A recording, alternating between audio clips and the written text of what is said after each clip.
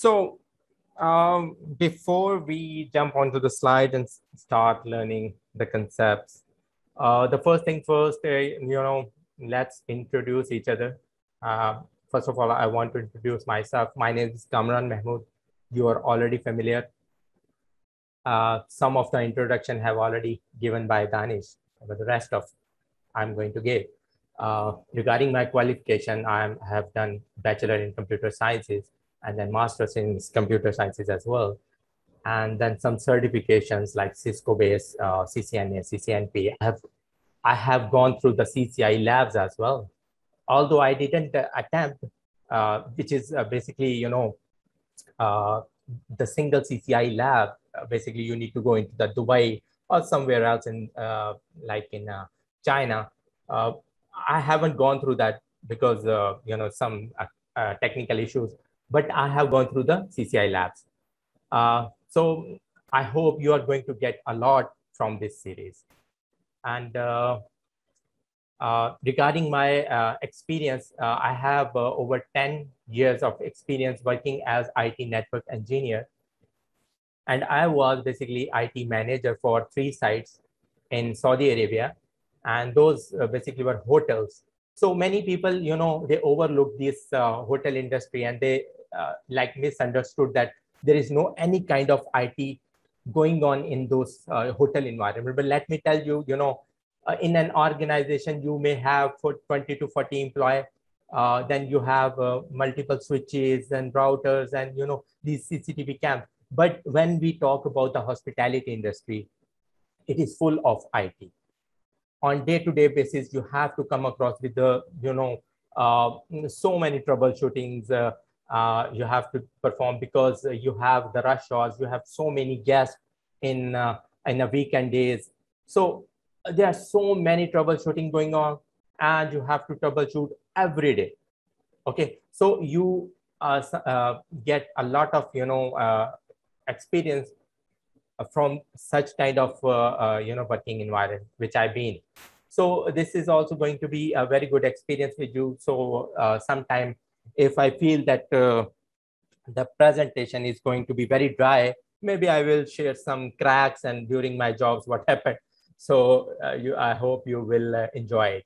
So first thing, uh, the second thing is uh, I also would like to hear from you uh, since you have been in module one and I hope just let me go to that slide very quickly. So today we are going to talk about network for additional concepts with tweak and tune for the week one module. And this is the second slide. Okay. So the agenda for today's session is the flyby overview of the concepts uh, for the module one. Uh, now you can see the my point pointer. Yes. Okay, that's great. Then if you have any uh, questions and doubts, you can interrupt me anytime. Then we will hit some troubleshooting labs. This will be very basic lab, but very important concepts. Then we have new concepts like Wireshark. How many of you are familiar with Wireshark, please? I just want to listen from you. I only heard the name before. I haven't, I don't, I honestly, I don't even know what it is. Okay, that's fine. How about the Haifa? And Christelle, I've run it Yes, Krista. Like a demo purpose and on a lab. And I don't know too much. I mean, in details, no. I just run to, I capture a packet and try okay. to. That's it. This is enough. Uh, because we are not going to go in detail about Wireshark. We'll just hit, uh, you know, just the surface of Wireshark, and I will show you why do we need Wireshark okay? And then in subsequent videos you don't have to worry about these things. We will do a lot in detail. And when we will finish about to finish ccna you will see a lot of changes in you. Okay? The positive changes i mean. Sounds good. Okay let's move to the side. This is surprise quiz but unfortunately you have not gone through this all module, but still uh, I will ask the question. So maybe maybe you will uh, answer me. Yeah, why give do it we, try. Yes. Why do we need a network we need a network to connect devices. Mhm. Okay. For what? What purpose for? Or it can be to for sharing resources. It, Yes, that's it. All right, let's continue. Haifa. Uh, oh God. Um, why do we need a network? Um, networks connect infrastructures together. I mean, if like, for example, what we're doing now, we're all working remotely, or most of us are working remotely. A network makes that possible. Um, I'm sorry, what was the other thing that, what That's was the other part of the question? No, that's it. Why do we need network? And basically, idea behind networking is if we want to send some information from one computer to another computer, we need some intermediary devices like mm, the router, the switches, or even the cable. You can directly connect two computers with a cable, and still it will be called a network. Okay. Okay. Okay, I have no idea whether you have gone through this or no, uh, this, uh, this concept, but uh, for the likewise devices, what type of cable will be used? Any idea? Cross, what is it called? Crystal first and then high. Oh, sorry. Likewise devices. Uh, I mean here in the plain in, in, uh, English, basically, if we have two switches, or let's suppose two computers, we want to connect these two computers together, what type of cable will be used? we, we will use the crossover cable. Awesome. Okay, Hefa. Uh, I agree with that. Okay, that's fine. Yes, the crossover cable will be used. Which one is fast, TCP or UDP? UDP? Mm-hmm. Okay, UDP because it doesn't care to it doesn't care about um, receiving a Okay. response. yes, you're right. What is the third layer of OSI model? You are familiar with o- OSI model? Yes. Yes. Okay, that's great. What is the third layer? Network layer? Mm-hmm. Hefa? Yep. Network layer. That's great. What PDT term, PDU term will be used at data link layer?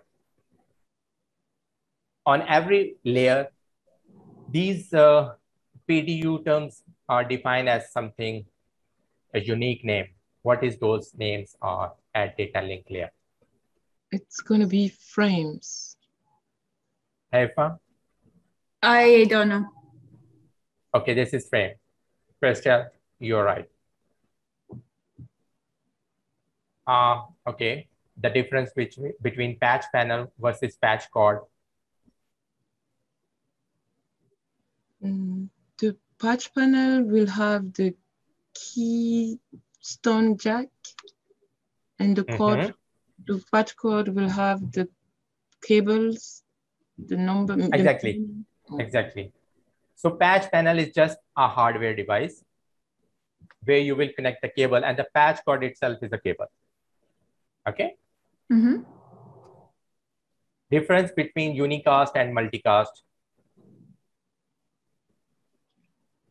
I haven't. Wait, Crystal, did you want to go first? Sorry, I know that we're doing it by Uh, letter. no problem. You know, if uh, if uh, the crystal has given an answer, it means um, I do not need to go uh, uh, to Haifa. Okay. So uh, so now this uh, Haifa, if you can answer this one, the seven one. So I haven't done unicast and multicast, um, but from the name, I would guess that uh, Yeah. one broadcasts to uni, which is like one, and then multicast, which is several. Yes, you're right. That's it. This is it. Okay. Again, Haifa, what is CSMA slash CD? Danish, what is, uh, I didn't hear him answer. uh, I don't know. I have no idea what that is. And Crystal? I know the beginning, carrier sense. Okay. I yes, right. You are going good. I forgot M. Okay, no problem. This is carrier sense multiple access with Oh, collision detection. Yeah. Okay, we're gonna learn about these things. Uh, we're gonna learn and we'll talk about these Let me things. let me but add let me add something over here. okay, So the the surprise quiz is kind of like you know you think about this like an interview right here, Haifa and uh, Christelle. Yeah. It- It's kind of like it it just makes you realize that look, if I don't know too much about this or I'm not confident, uh, this is exactly an interview will go right. We're not talking about how much you know about in terms of technicality over here, right? Like how much do you know technical uh, information about this? It's more about if you are let's say if you have a very small answer that you knew that okay i can i can just man i know this stuff. I can just give a quick answer. Then this means that you are kind of nearing that interview uh, the confidence for interview. That's kind of like the what i would say that why you should be focusing on learning on how to answer a question right? This is really going to help you. When you finish up this whole module you should come back to this video again get all these eight questions again and then give it give the answer like you know uh, stand in the mirror or something or maybe come come to the discord and say this is my answer now. Would you accept this for interview? That's why the surprise quizzes are very important because it just kind of makes you realize that you can learn a lot for many many days but if you are not able to give a quick answer then of course it's still a weak point just for the interviews. Does that does that make sense? Yes. okay let's go ahead okay. Yes. Another thing. Uh, okay, you want to continue something? Uh, yeah, I was gonna ask Danish when you say uh, like an interview, do you mean you know when we do the intern um, interviews and we tell them not to say I don't know? Is that are you referring to that also, or just for our knowledge later? Yeah, this is this is for knowledge right now. Now, this I don't know is a part that when we let's say finish this whole module, like once fully after live sessions and you guys finished it, then we're gonna give you some interview questions. I'm going to be posting those questions, and that's where then you will type it down in your documentation. And of course, you're not gonna type I don't know in the document. Um, and that's where I'm gonna be checking for that type of stuff. And later on, when it's when it's a, like the hot seat type of thing, when we do, that's where Mhm. we're gonna get into that. But for now, it's more of knowledge. Like I want you to look at these questions. For now, uh, think about it. Did you answer 50% of it, or did you answer 60%, 70, 80, 90? Right? That Okay. that tells that tells like if you were gonna go and start applying for jobs right now, you're gonna be exactly in that situation for any other modules. You're gonna be around that then. So it's it's all about that building the confidence. So when he's doing these surprise quizzes, just think of yourself in an interview like, okay, that's exactly what I'm going to answer in an interview as well. If I don't know here, I'm not going to know it over there too, right? Okay, okay, So that's it's just for knowledge right now. Okay? Okay, thank you.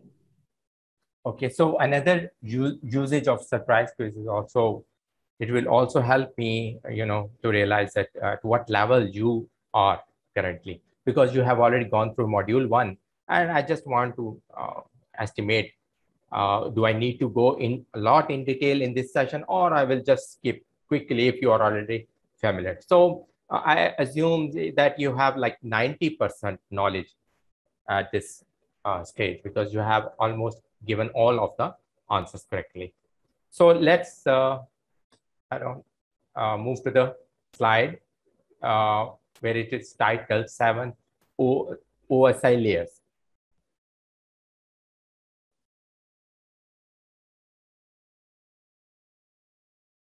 So why do we need this this OSI layer? Anyone can tell me? It's literally what we use to transfer data. Okay, From, and oh, sorry. I wanted to add that from my understanding is a standard that they put in place so that we can have many, uh, many cons constructor of You're right. You're right. For example, if I open one company, uh, which uh, uh, basically um, creating or developing uh, some kind of Ethernet network interface adapters, it's a manufacturer company. And then I have to follow some kind of standards, okay, which is governed by ISO, International Standard Organization. It is a governing body.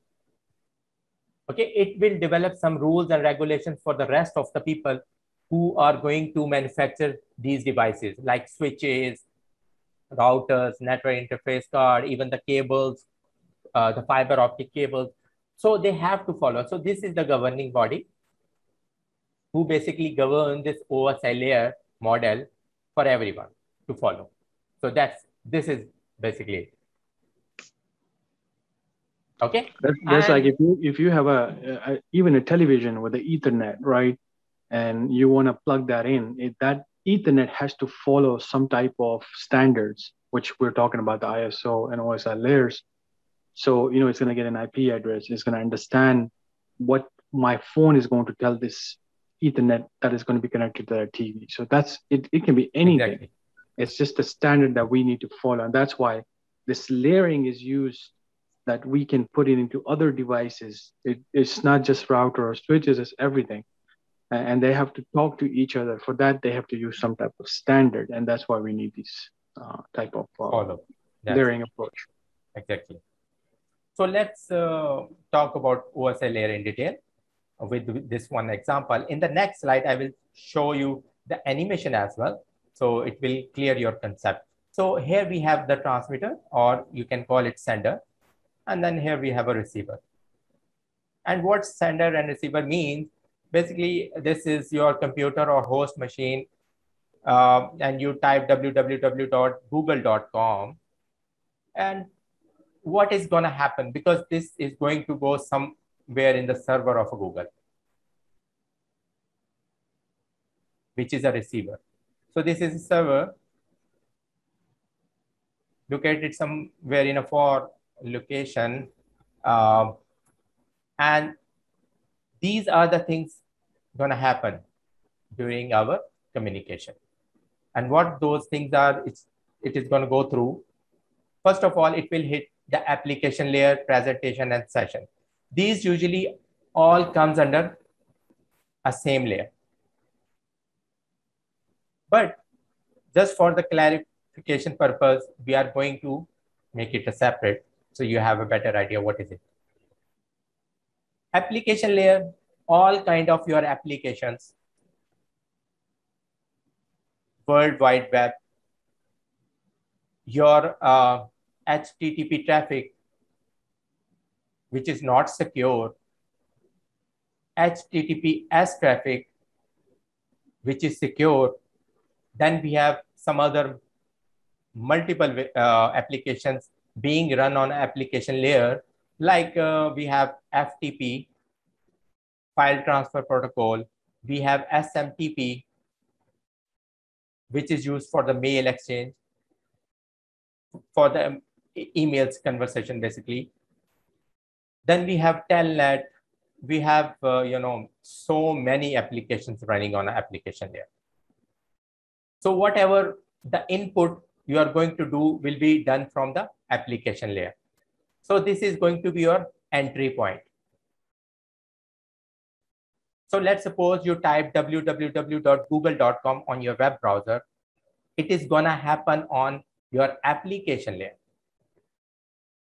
with the help of web browser. Okay, so the web browser works on application layer. And this is your going to be your seventh layer. Not to confuse that this is A or application layer. So it starts from first layer. This is also uh, a very good interview question. They often ask uh, what application layer works at, uh, which uh, basically, uh, what is the layer number application layer work on. Okay, so it is seventh layer. After that, you will go and hit the presentation layer. And presentation layer has to do with the formatting.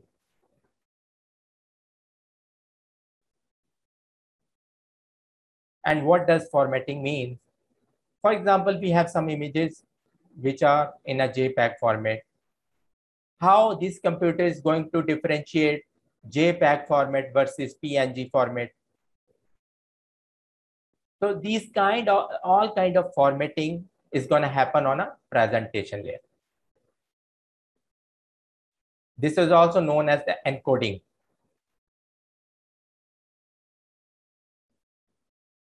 Encoding, formatting, everything is going to happen on your presentation layer. Then this is seventh layer, this is sixth, and the fifth one is a session layer. Let's suppose we have one web browser running and we have multiple sessions going on, which is going to the same server, which is Google.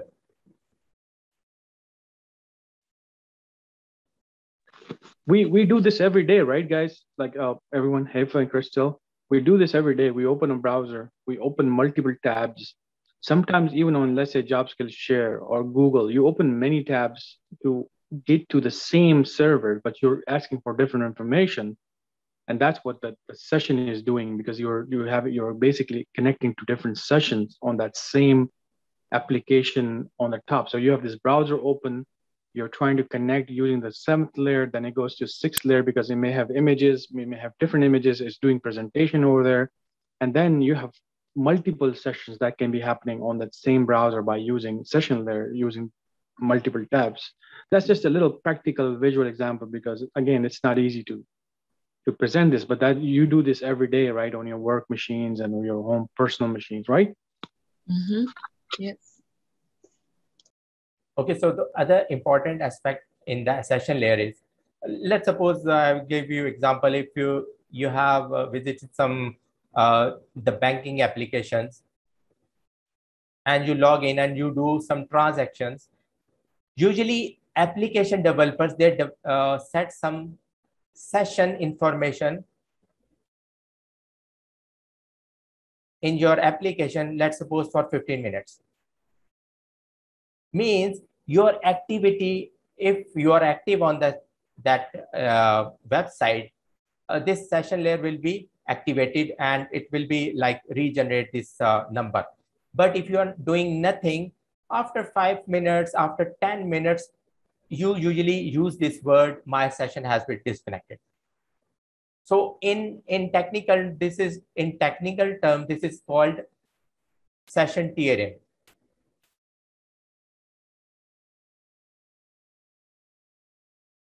Session has been tiered. So this is also another task of the session layer so if your session is on, like in the Hotmail or Gmail, uh, if your web browser is open and maybe you left that uh, uh, computer and you had no idea that uh, you had to log out, after some time, the session is going to expire and it will be logged off. So this is another, another functionality of this session. After that, we have a fourth layer is the transport layer. The transport layer, we have two very important well-known protocols being used, TCP and the UDP. And the Crystal already, uh, you know, answered this, that TCP and, and the HEFA as well. The TCP is basically uh, the connection-oriented pro protocol and UDP is connection less. So uh, can you answer me means, okay, this is connection oriented and this is connection less. So what is the use? What is the purpose of these protocols then? Why can't we use just TCP or just the UDP? Anyone can answer, please? When you, I, I don't know if this is what you want Okay. But uh, for TCP, um, we use like let's say you're logging into your bank uh, okay. uh, online, you would use TCP. Um, but UDP, you would use it to stream like Netflix and things like that because if Okay. a few packets are missing, it's not going to make Uh-huh. much of a difference. However, with Yes, TCP, that's it does make a difference. I don't know if Yes, that's the that's right. answer you were looking yes for. Yes, exactly this is this is what i'm looking for so the tcp is connection oriented where we need acknowledgements we want to confirm that our end-to-end connectivity has been established with the help of this is called three-way handshake and i'm going to show this as well three-way handshake. Okay? So what will happen in the handshake? The sync will be sent to the receiver and the receiver is going to send back the sync ACK basically it is saying that um, i have received your uh, sync and i'm going to acknowledge that. And then in the end the ACK will be sent. This will be the final ACK so this is how the connection will be established and then whatever the transaction is going to happen later on it will happen. But in case of udp we do not require these things. Why? Because as the HEFA said that uh, uh, we want to send the packet as soon as possible if i give you a layman example of this if we are watching a tv and you have uh, come across with this issue so many times there's kind of like uh, some pixel lost during the you know some broadcast you are watching some movie or some um, uh, like uh, a match okay? So some pixel lost. So do you think that uh, your television is gonna send back the acknowledgement to the uh, sender that kindly send me that pixel again back to me? No. Mm, No. it doesn't require. It doesn't bother. So where we want to send the information as quickly as possible we are going to use udp and where we need the reliable because reliability also a very important part of your networking we want reliability on your web pages because for example if i'm trying to access some uh, uh, web page like jobskillshare.org and i just in return i just received the go uh, the logo only. And the rest of the contents i haven't received. It doesn't make sense. That's why we're going to use tcp for the reliability So, Kamran, I have just one question from a user perspective. And okay because we're on TCP UDP, I want to add it here so then it's gonna we we have it remembered it. So as a network engineer, where do you get in and say, oh, I'm gonna make a decision for this type of network for TCP and this I'm gonna use UDP. Do you do we do this kind of stuff as a network engineer? This is coming from a person who's gonna be like, hey, why do I need to know about TCP UDP now? Is it, am I gonna be actually working on this or is this because just for troubleshooting? okay Right? so Like if yeah I'm a new person, now I'm thinking, as a network engineer, I got my job. Okay, I got a Cisco switch and router. Infrastructure is getting ready. Now I need. Where do I really need to know about this? Mhm. Right? Is this is this for purpose of knowing how technology works and how these different things work? But do or do we, as a network engineer for Cristel and Hefa, can you tell them like why why you really need this um, at at this point? Like what what would be the the practical thing? I know it's gonna come Okay. later on, but let's just talk a little Mhm. brief on that. Okay. So as a network engineer, to be very honest, we have not to worry about these protocols, TCP and UDP, other than the concepts and the troubleshooting. Because most of the application, if I, let's suppose if we talk about uh, mm, uh, the Skype, okay, and then uh, this uh, Zoom, they are using kind of UDP application behind the scene. Okay, so in case if this application is not working, we have to troubleshoot UDP, whether the UDP port, uh, in, a, in a subsequent, you know, uh, slides, I will show you what port the Discord is using, what port of the UDP of this Zoom is being used at the back, and maybe uh, at a firewall in a firewall because this is going to be beyond uh, this uh, you know uh, this lecture but no problem. I'm just going to give you a little information. Let's suppose we have a firewall and i hope every, everybody familiar what firewall is. Yep. Yes. because it, this is very common in your even uh, it is not even hardware. You can uh, consider it like the application firewall usually we have the hard hardware appliances firewall as well just assume we have application firewall so in this application firewall the chances are somebody has blocked the port for Zoom, which works on top of UDP. Let's suppose Zoom is using port 5124. This is just assumption. And somebody has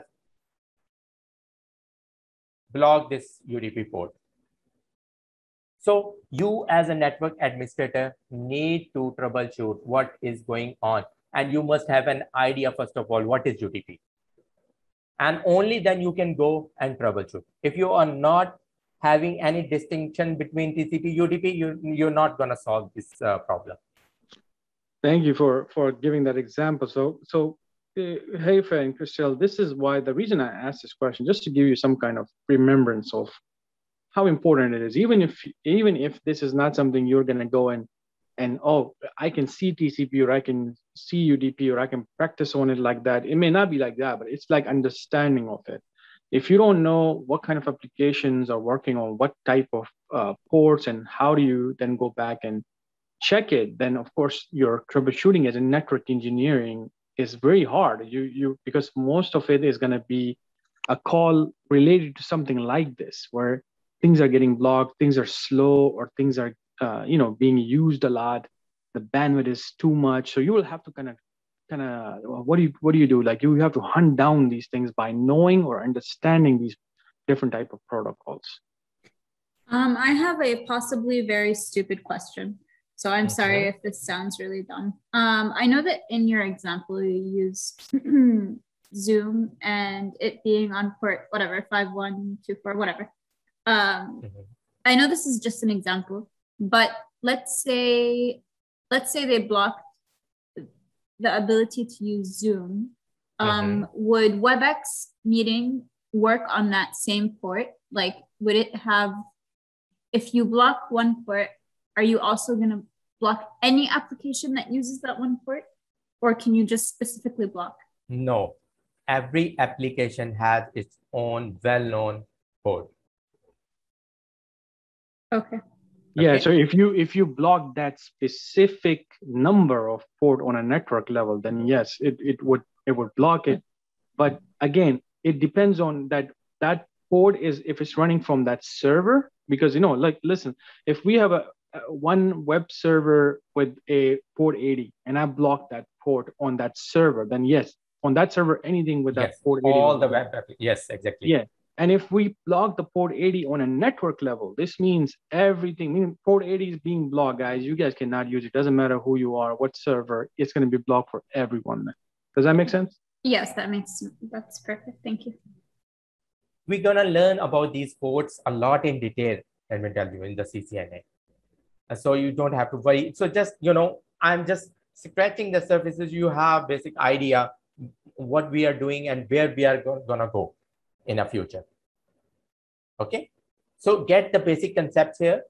And by the way your question was very good. We have some well-known ports. We have some random ports in computer. Basically we have from 0 to 65000 535 ports available in our ports, of which we have 0 to 1, 0 to 4 ports are the well-known ports. These are kind of dedicated ports are allocated, like for example, 80, 80, 80, 443. These are allocated for HTTP and HTTPS.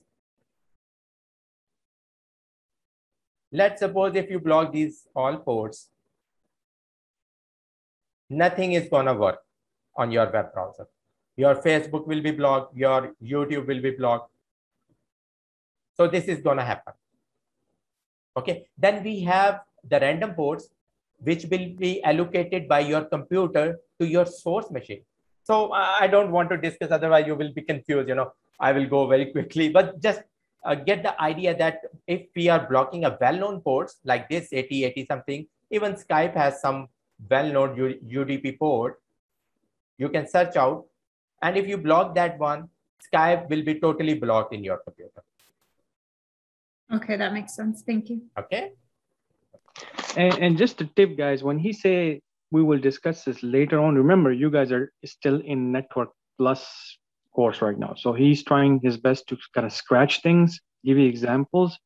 But I also told him not to go extreme deeper because that is what the CCNA is going to cover. So we don't want to bombard you with, you know, like a like a port, and then let's get into some really deep port type of stuff. So that's way this way you will learn in a in a kind of like a chunks. Uh, does that make sense? So it doesn't become like a at one point, oh, we just jumped into something very deep immediately.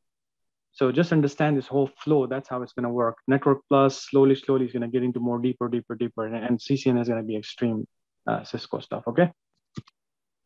Yeah, I I uh, think I like that. Okay, let's move on. Uh, the other uh, layer is network layer, and you know your CCNP even the CCIE, 70% of your work is going to happen on this network layer. Day and night, you will be troubleshooting network layer. So this is very important layer. And it has to do with the IPs.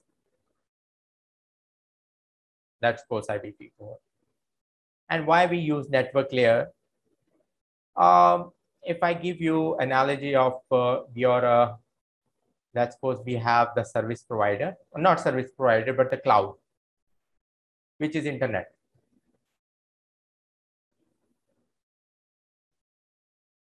Here we have one sender mach machines connected with this and the receiver is connected with this. Now, the user typed www.google.com.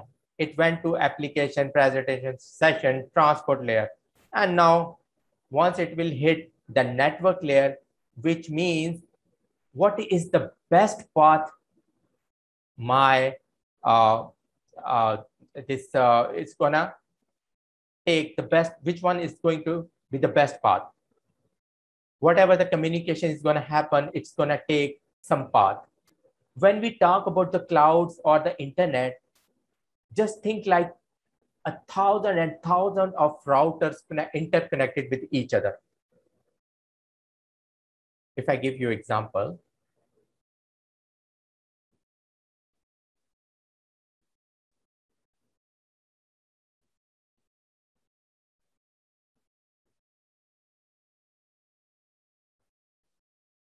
let's suppose this is our internet um, cloud. And I'm going to uh, send information from my sender to receiver. And these all routers are connected with each other.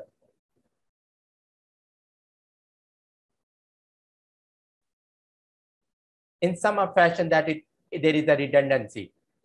And what redundancy is if one path or the router or the path is lost, we still have the reachability from the other path. So other than redundancy, we should also have the best path. Okay, we want to reach to our destination, but with the optimal way. Let's suppose this is going to be our optimal way.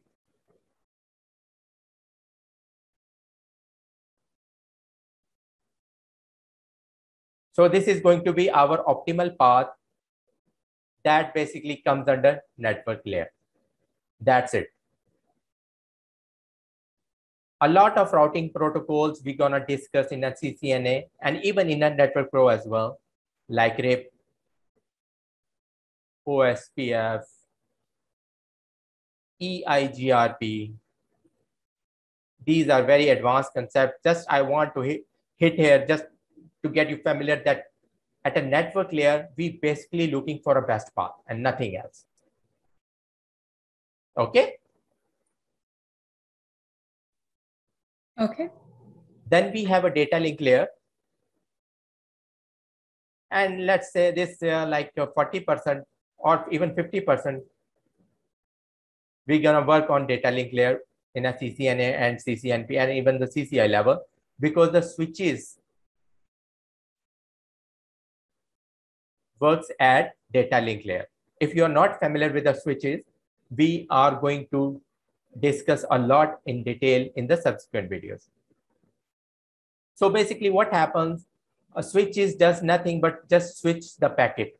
Whatever it received at its one port, it's gonna spread to all other ports. That's it. Whatever the information it is receiving, it is sending from the other side. This is what switch does. And switches use a very important concept. This is called MAC addresses,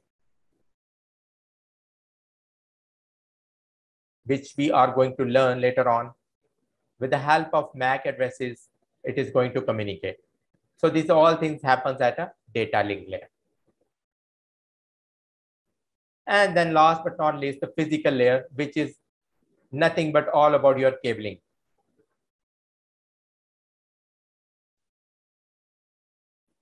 Because we need to connect our uh, this uh, sender device with the receiver somehow with some cable. So we need some physical, uh, you know, uh, kind of uh, mode we need require. So uh, at this layer, your data will be sent in a bits and bytes. So let me talk about the PDU. PDU is a general term used for this all packets or uh, whatever you call it data. So the PDU protocol data units is the term used for this data. But you can clearly see at application presentation and session layer, this PDU is called a data.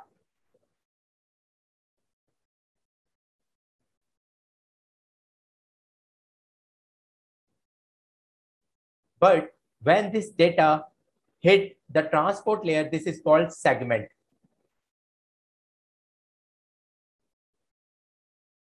Similarly, at network layer, it is called packet. And maybe you have heard this often that, you know, my packet is transferred from this location to that location. It means they are talking about the network layer. If they are saying my frame is stuck somewhere, my frame is not moving, my frame has been stuck or choked out, it means they are talking about a data link layer. And the bits bytes worked on a physical layer. So far, so good. Anyone has any confusion? And and you know, in network engineering level, when when you talk to another network engineer, the way he was explaining, that's how they're going to talk. And that's why you need to know about these terms. And yeah, it takes a little time. That's the, the whole purpose of this whole course. He's going to keep doing it, keep telling you all this stuff. But that's how a network engineer talks to another network engineer. They don't go into like, you know, just very basic stuff. They're just going to talk, oh, the packet. Yeah, the frames. Yeah, this stuff. So you see why sometimes when we talk to a network engineer like this, and uh, we, we get a little confused because their language is a little different than us. That, the reason for that is that they know this this because they can break things down easily that way. They don't have to say every time transport layer or session layer. They may just say data, and you you already know that he's talking about the three, uh, uh, you know, seven, six, and five right there, right? So that that's a language that I also try to kind of go back and and and kind of like just remember these little uh, you know terms that he's talking about because that's how they're going to ask you into Okay. And even in a CCNA uh, questions uh, in the exam, they, they, they will trick you into thinking that, or uh, they will put the question like they will not talk about transport layer. They will be saying um, the, the segment uh, sent from this location to that location. So it means he's talking about the transport layer. So this is what he wants to check the level of your, you know, uh, thinking that what you are thinking at this moment. If he's talking about segment, it means they are talking about the transport layer. If they are talking about the packets, it means they are talking about the network layer, the routers. And if they are saying the frames, it means the data link layer or the switches. Okay. So I have a question, and yeah, again, sorry if this is silly. no Um, problem. No, but keep asking. But okay, so the first, sorry, seven, six, and five are data layers. Would they mention data layer and then you have to guess what, if they're talking about application presentation? These are 765. yeah. Okay.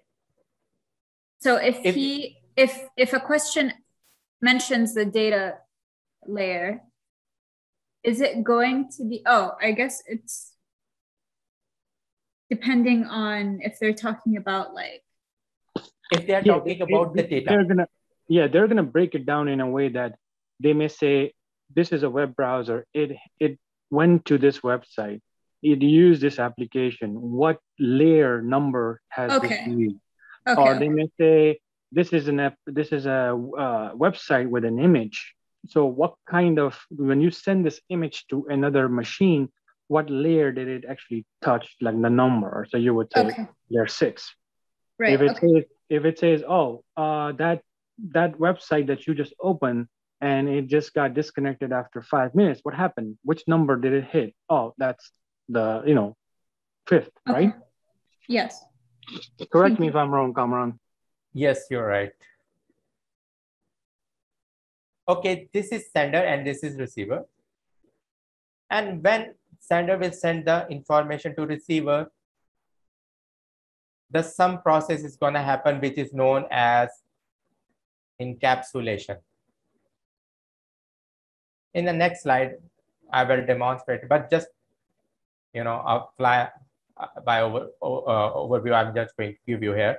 This is called the encapsulation. And here, when receiver will receive the packet, all the steps is, it, it will go through, it is gonna de-encapsulate here. I will just type de-encaps here. Okay, so what is encapsulation?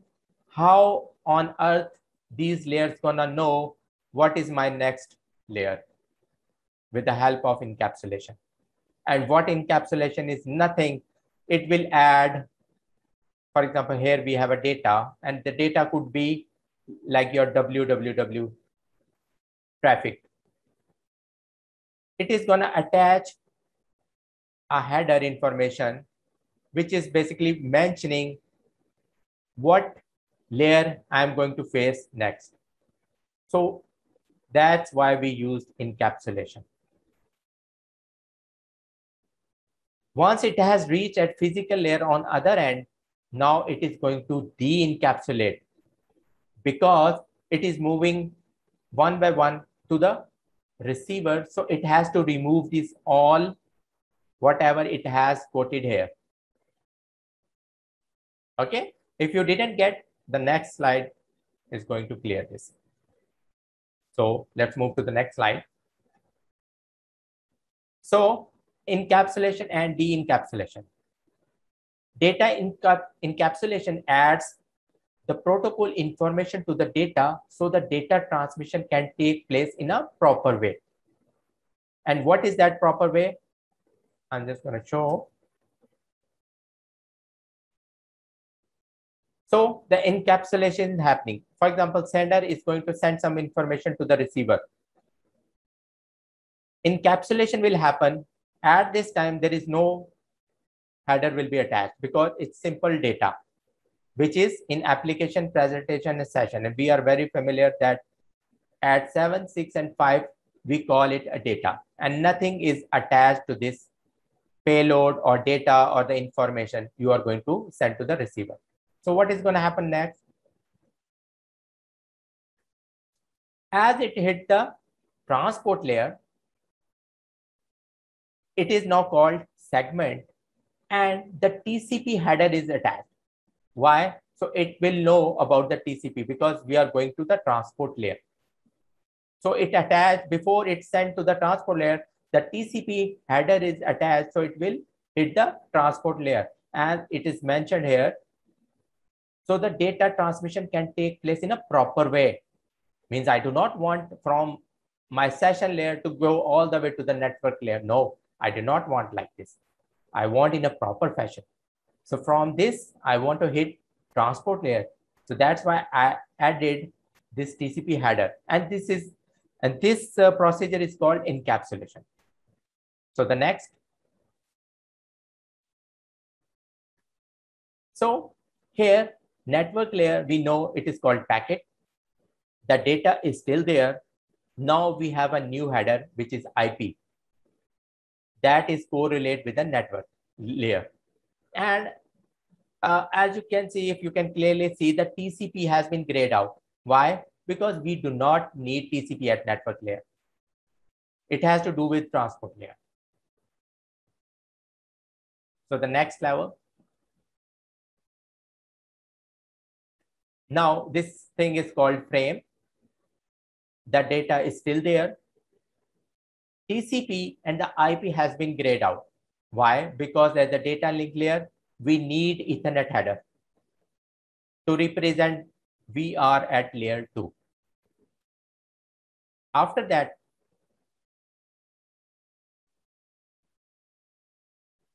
data will be sent across the physical layer, which is nothing but the cables. And as you can see, 101010, which is bits and bytes. So our data is going to transfer into bits and bytes basically one is positive and zero is negative. So this is how computer understand the language of bits and bytes. So on other end, the same process will happen, but in opposite direction. And this header information is going to removed or stripped off. This is called de-encapsulation. So at the data link layer, phys physical link layer told at data link layer, we, we are going to go to the data link layer. So Ethernet frame is going to be attached. And then similarly, it will move up. As you can see, now the IP is added because we are at network layer. The TCP is added. It was already added, but now it is de-encapsulating because whatever we receive from here, it is, it is going to de-encapsulate here for the end-to-end -end proper uh, conversation. Okay? Any confusion here?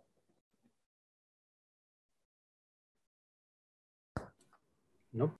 No. So far, so good? Okay, that's great. Let's uh, move on to the next slide. Sorry, so this, I am a little bit late. I just it's just a confirmation from you that I want to have on the on the last um, picture, I see ETH on the data link. Is it representing the LLC and MAC?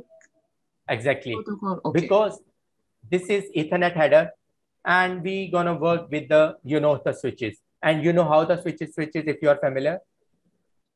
Mm. It used two, two protocol. Uh, one is MAC address. And... Oh, I'm so sorry. I'm sorry. Okay. So Ethernet, you know, this is uh, like, uh, it is too early to talk on this, uh, I guess, on this concept. In uh, future nuggets, we're gonna uh, use a lot in detail about what is MAC and what is LLC. Okay. Okay, because HiFi is there and I don't want uh, her to confuse. Okay. Okay, we will go step by step and whatever your questions will be, I will address in the subsequent slides. Okay. So here we come uh, on the slide where it's uh, talking about the TCP IP versus UDP. As you are wise enough to know what is TCP, uh, uh, the difference between the TCP versus the UDP. Um, so just uh, go over this uh, one by one. The connection-oriented three-way handshake. I told you it goes through the process is known as three-way handshake because this is reliable. But the drawback is it is slow it used kind of concept called sequencing and acknowledgement. So it knows that mm, the, the, the information that is going to, before they're going to send information, first of all, they're going to confirm whether they are there or no, they are alive or not. So they're going to use sequencing and acknowledgement. Then they use the concept windowing, basically how much data it is going to send. In a one, uh, for example, if uh, uh, the first packet is sent with uh, three packets, let's say three, um, just a minute, I can show you with it.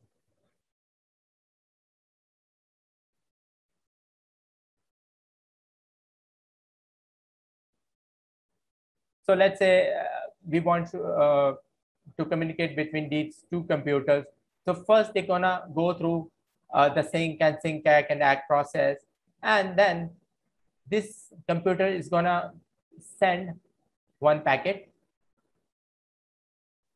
and it will receive and it will answer with a two. What it is it, it is saying basically, it is saying that I have received your first packet but I'm expecting the second packet. Now this time, this computer is going to send to three. When the receiver will receive, it will answer with a four. It's saying I have received all of your packets until three and I am expecting the fourth.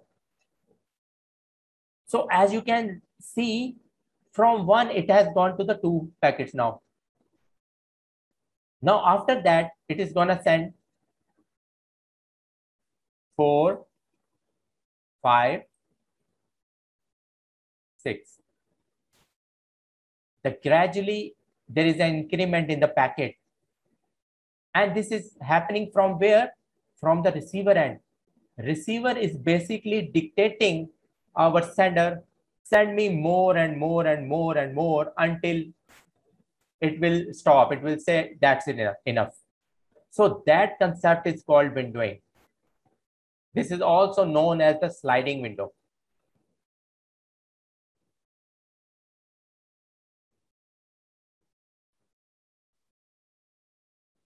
Means receiver has some kind of limitation after that. Let's suppose this is that only three packets it can send. And then it will keep sending three, three packets until uh, the process finish. The other concept is known as PAR, which is known as positive acknowledgement with and the retransmission. What if this, for example, uh, they are sending some SYN, SYN ACK. What if this acknowledgement is failed? And you know what is acknowledgement? Acknowledgement is sent to make sure the sender that uh, it has received the packet. Okay, but what in case if the acknowledgement is failed, then what will happen? Then it is gonna use PAR. This is just concept which is known as positive acknowledgement with a retransmission. And this, you know, uh, the sender will uh, wait for some uh, some millisecond or second. And if it will not receive this uh, acknowledgement, it is gonna send uh, these old packets again. So this is known as PAR. Why I introduce these concepts? Because these are very good interview questions. They can ask what is windowing. They can ask what is sequencing and acknowledgement. They can ask even what is sliding window instead of windowing. Then what is PAR? Got it? Yes. Good. Well, Pa, could you repeat a little bit, please? I didn't Okay, this is- I agree with Christelle. Yes. This is positive. You can type like positive acknowledgement with retransmission.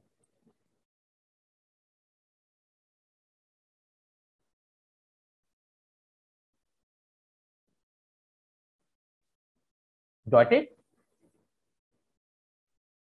Or you want to understand the concept again for the PAR? So it's the same thing we retransmit when we have we don't have acknowledge. Is it Exactly. Okay. When we fail to get the acknowledgement, because sender, we have a sender here, we have a receiver here. Sender is sending the information again and again. But what in case, and the receiver is gonna acknowledgement, send the acknowledgement back to the sender that I have received your package. Okay? But my question is, what if this acknowledgement is failed at first place? So this is the thing will help, which is PAR. It will wait for some time. It will means it will wait for some fraction of second. And if acknowledgement is not received, it is gonna retransmit the packets, old packets again. How many times is it going to try to retransmit? It, let's say it the first time fails and the second time fails. How many times is it going to try uh, it, before it, it? it, it doesn't depend. It doesn't depend, but it doesn't happen often. Okay. It is in a very, you know, a fraction of millisecond that you you're not gonna aware about this, how, when and how it's gonna happen. But this is just a concept that if if it received a failed acknowledgement, it will wait for some time to send those old packets again, which is called PAR. Got got it? got it? Okay, that's it. And then we have a UDP. As we know, this is the fast. You can consider it like a roller coaster. Okay, where you need a speed, and you can consider it like a uh, aeroplane. Because when you need to board on a aeroplane, you must need to provide your passport information, your ticket, everything, and then you are ready to travel. But in case of UDP, this is fast. We need to reach our destination as soon as possible. So uh, let's go to the Wireshark and I will give you a quick demo how these things looks in a real.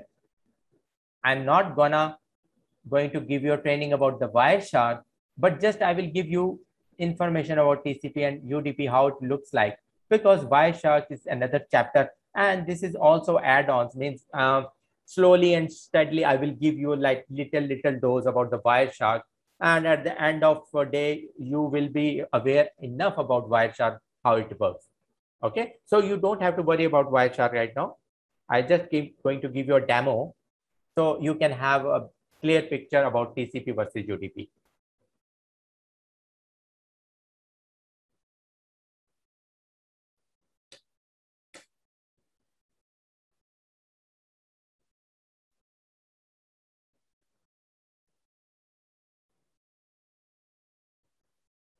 So can you see the Wireshark?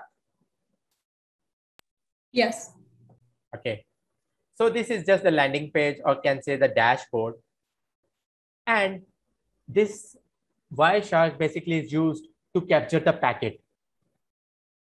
If I give you a little demonstration,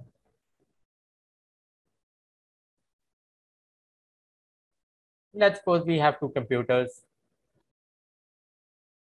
Uh, and it is sending some information to this computer.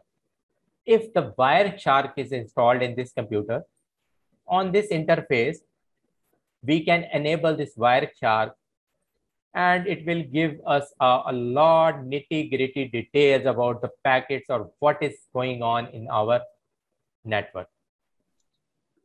But make sure it is only going to give me information from this end. Excuse me, Kamran, are you drawing something? Uh, is it not? Oh, sorry. yes.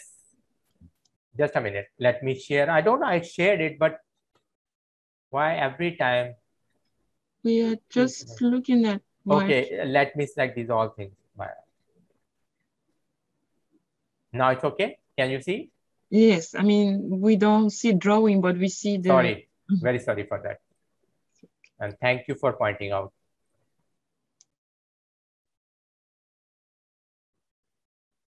So I was giving uh, the demonstration. Let's suppose we have two computer PC1 and we have a PC2.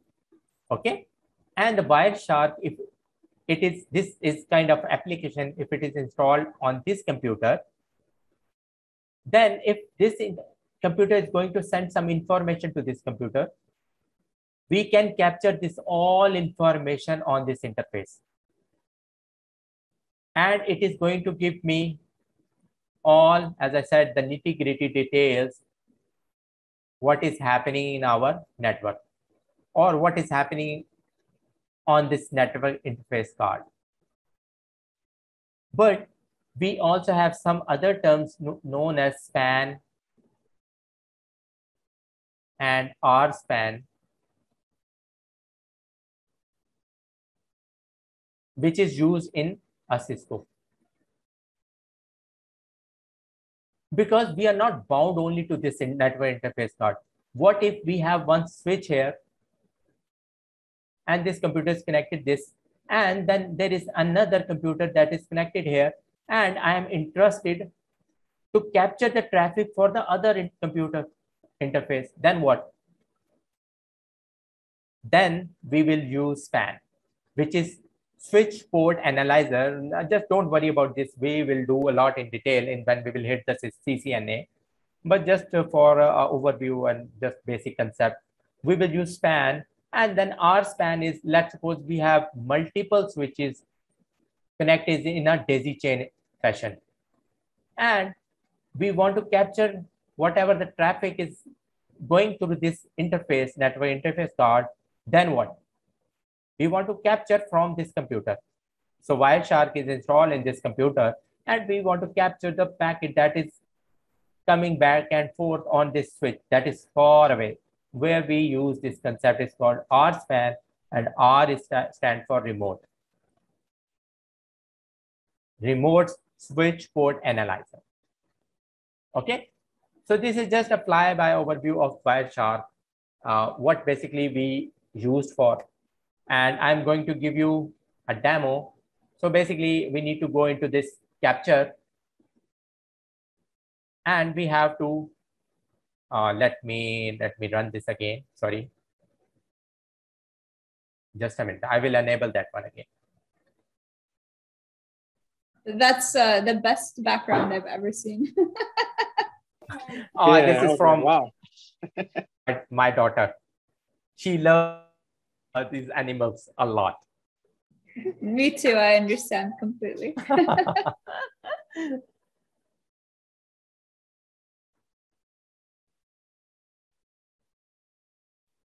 so, can you see the Wireshark? Yes. Yep. Okay, that's fine.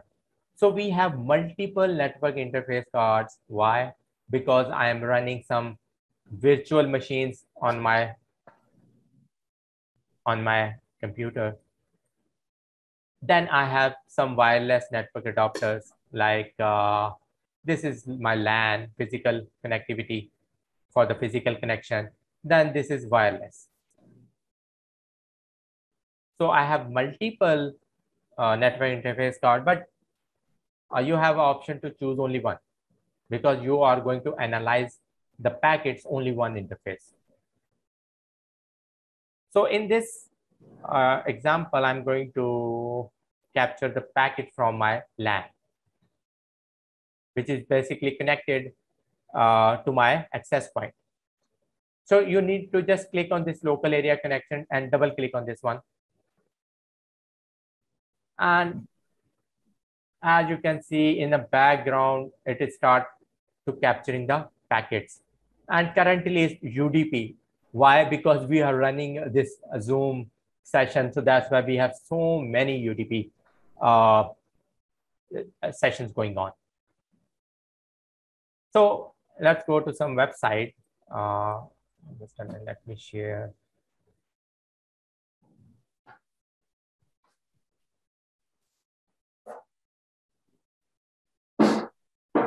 Uh, let's go to some jobskillshare.org. And then when you will go back, you will see some TCP activity as well. So let's stop this capture from here.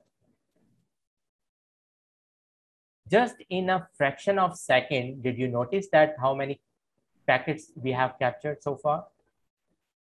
Almost 9,425 packets. Oh, Okay, but you don't have to worry about because we can filter it out.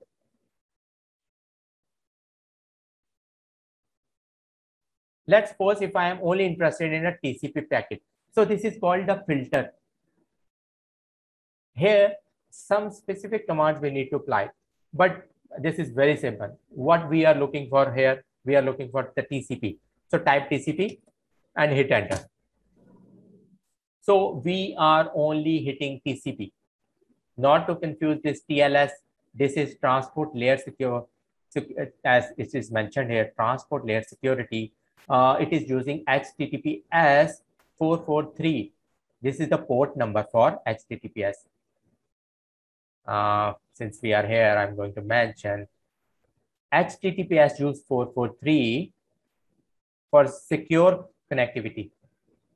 Means whatever, you know, uh, for example, uh, if we are uh, doing some kind of transaction on a bank, okay, obviously it is gonna happen using HTTPS protocol because it is secure. And what does secure means? Whatever the communication is going to happen, it will be encrypted. If some, you know, some rogue person or some evil person is, is sitting in the ISP, in the service provider, and try because the we our all this data is going through where the ISP, and someone is sitting in the ISP and he is capturing the packet. Then what? He can get and hands on your all uh, uh, information like credit cards or we do not want. So that's why we use HTTPS, which is secure. And opposed to HTTPS, we have HTTP, which works on 80, which is not secure. Okay. So here we are, and we I just filtered TCP and if I select some TCP packet like this one, it is going to give me some information like the number, what is the number of this packet, the time it hit to this packet. Before it was like this kind of millisecond and the time when we received this packet, it was this time. Then this is the source. It is being sent from which source? And 192.168.100.3 is my computer IP address. So this is my, my machine. This is source. You can check from here. This is destination where, where I'm heading to. This is 198.251. some public IP. This is also called at public IP. This is also a very good interview question. They can ask, what is public IP? What is live IP? They all have similar name. Live IP and public IP both are same. It means you are going to somewhere, uh, maybe this is job skill share server which is running this public IP. It is using what kind of protocol? The TCP, which is secure. And currently it is giving me acknowledgement. But if I will show you, uh, if you right click on this one, TCP, and go into the flow, TCP stream, click, just close this down. We don't need this one. And just come on the top of this, uh, not uh, this one, just again, you can do right click, go flow TCP stream. Uh, actually, I'm going to show you those SYN, SYN-ACK. Uh,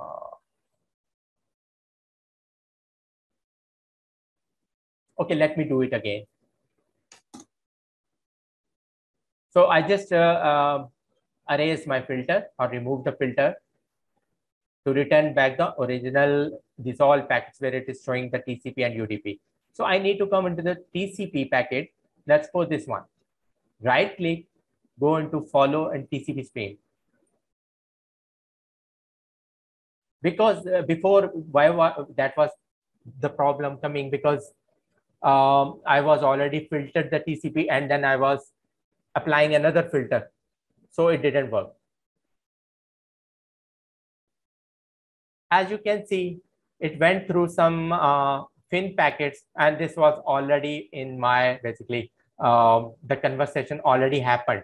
So that's why, you know, if you notice there is a FIN packet, it means this, this is going to be your last packet. It is saying that my communication is going to finish and we receive the acknowledgement. So this kind of, this is called the TCP uh, communication is happening. If you select this TCP, you can see we have some another nitty gritty detail which has to do with your OSI layers.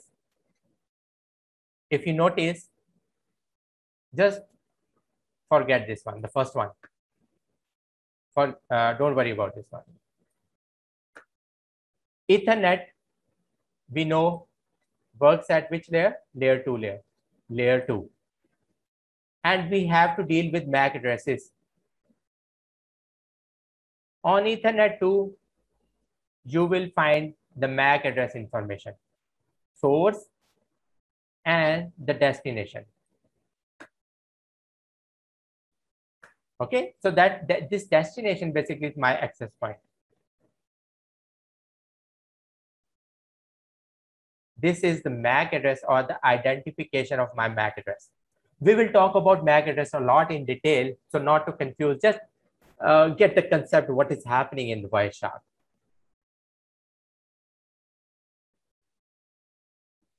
Then we have the next layer, which is IP or the network layer basically. It is give me giving me information that it is using IPv4 version. As you can see, IPv4.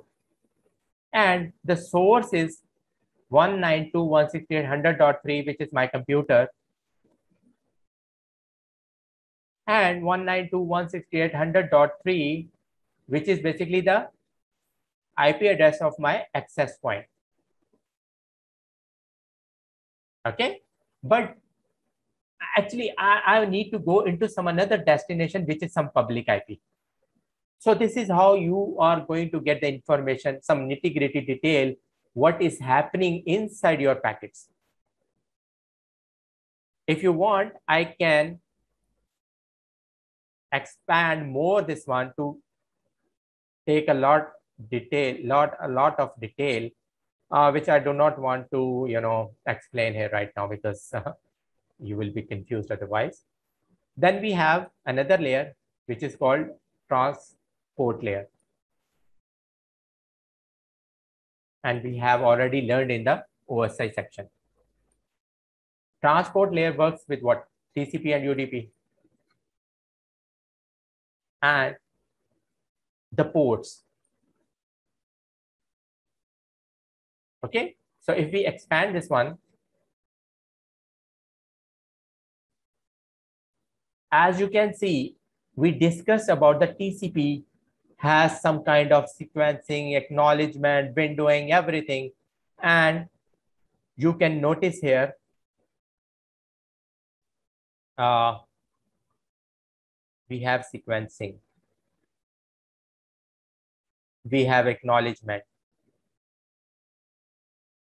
We have FIN packets. We have windowing.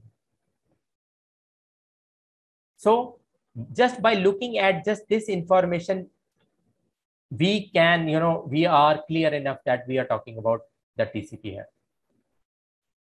The TCP is the protocol. TCP use source port and destination port, as I discussed earlier, from 0 to 65,535. If you want to see the information, you can see it is using source port, which is not well known. It is not well known because this is some kind of random. Because when you will learn about more about, about the protocols numbers in detail, you will see this is not a well-known port. On other hand, the destination port is 443. And you are wise enough to understand this is HTTPS.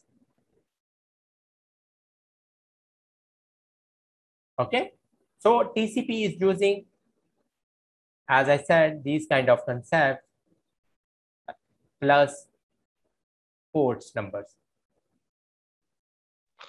Now that's this this is a great example to show you you a visual like you know how it just a simple packets you know flows through the network and how engineers will just get in if there's something going on on a big network level like let's say a help desk contacted you that it's not just one machine it's every machine that is just having this issue with whatever it is you know like specific maybe they're not getting a full uh, you know uh, bandwidth or something like that or some some application is not behaving correctly inside that network but it's behaving correctly outside of the network like overall network.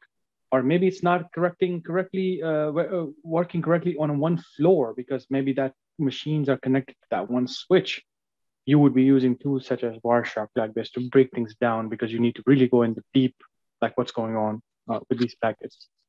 Um, correct me if I'm wrong, Kamran. That's yes, how exactly. you guys kind of get into, right? And thank you very much. You just gave me an idea so I can give them uh, the real uh, scenario why basically we use uh, uh, the the Wireshark in our production environment. So if just I filter out TCP, have you ever heard about one attack that is known as, if somebody can explain, what is this? Isn't that when a lot of uh, DOS attacks, isn't that when uh, a lot of packets are sent to a, I don't know if it's a machine or a network. Yes, you're right. To you're try right. to overcrowd it. Exactly. This basically means we if if some server is running basically it stands for denial of services. And you know it uh, the name suggests denying for something. Okay? Uh, let's suppose we have a google server and we are trying to reach google server. But sometimes have you uh, come across with this, this situation that you are trying to access this server but it is not available? Yes. Yes. And that 99% of the time happen using the denial of services. And what denial of service is connected with is basically the TCP. The attacker is sending SYN packets repeatedly, and the Google server is sending back SYN-ACK in reply. But our attacker is, you know, uh, intelligent enough or can say the evil enough, he is using, he's not using acknowledgement in the return. Okay, so just these things are being sent, SYN, SYN-ACK, SYN, SYN-ACK, SYN. This is how it is gonna send millions and millions of packets in just a, in a fraction of a second, uh, just to avoid the services for the uh, any server. So if some uh, user is trying to connect uh, let's suppose he's trying to buy, purchase some stuff from the Amazon services, but uh, some attacker has attacked with the help of denial of services, uh, the user cannot access Amazon server. And that's a common thing that you're going to come across when companies don't have a solution for, um, you know, D, DOS or DDoS. That's another thing. Exactly. So if you exactly. don't, if you don't have that solutions to stop it, then you would be dealing with this type of issue as a network engineer. Like, oh, you know, hey, yeah, our network is being hit by, you know, so many SYN attacks that our server just is exhausted and I need to block an IP address. So you would go into, but of course, we have more advanced tools to counter that. But Wireshark can then help you more even like, okay, how many syncers are open at this? Yes and then you can notice in this in the destination uh, that you know uh, some or from the source that one particular source is sending uh, this SYN and SYN packet frequently. This is how you're going to diagnose in a packet tracer there is something happening. Okay. Make I'm sense? sorry, what's the difference between a DOS attack and a DDoS? Okay. Uh, the DDoS uh, denial of services basically when we have a sim single machine and we are trying to attack some another server from a single location or single device. But in case of DDoS, which is distributed denial of services, uh, you know, this is very like uh, uh, advanced concept, but no problem. Uh, we create the Sorry. bo- You don't have to answer. We can go back Nope. to it in the future if it's too much. Okay, that's fine. Just I'm giving you a little info, no problem, uh, because Christelle uh, can understand. She has a very good, you know, men- mentality, and mashallah, she is great. So we have distributed denial of services, uh, where we uh, basically create our these zombies, and we have multiple, you know, these zombies in place, and that will basically act like a evil, evil machines and they will also participate in denial of service attacks. Okay, and then we have multiple these zombies. We have multiple devices, they all will be attacking to the same server, which will make them DDoS. Make sense? Got it. Thank you. Okay.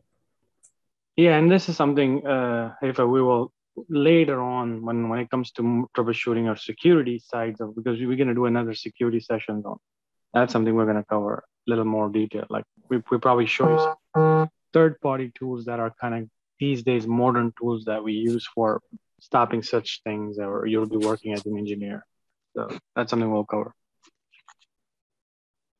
Okay, so we were talking about the TCP. Let's talk about the UDP. You have to do nothing, just replace TCP with the UDP and hit enter.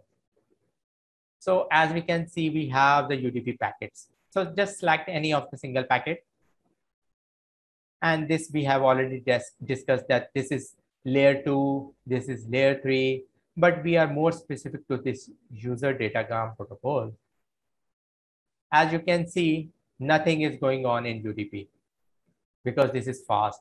It has source port, it has destination port, and that's it. And some checksums. As opposed to the TCP, which has like sequencing, acknowledgement, windowing, and you know everything is happening in that.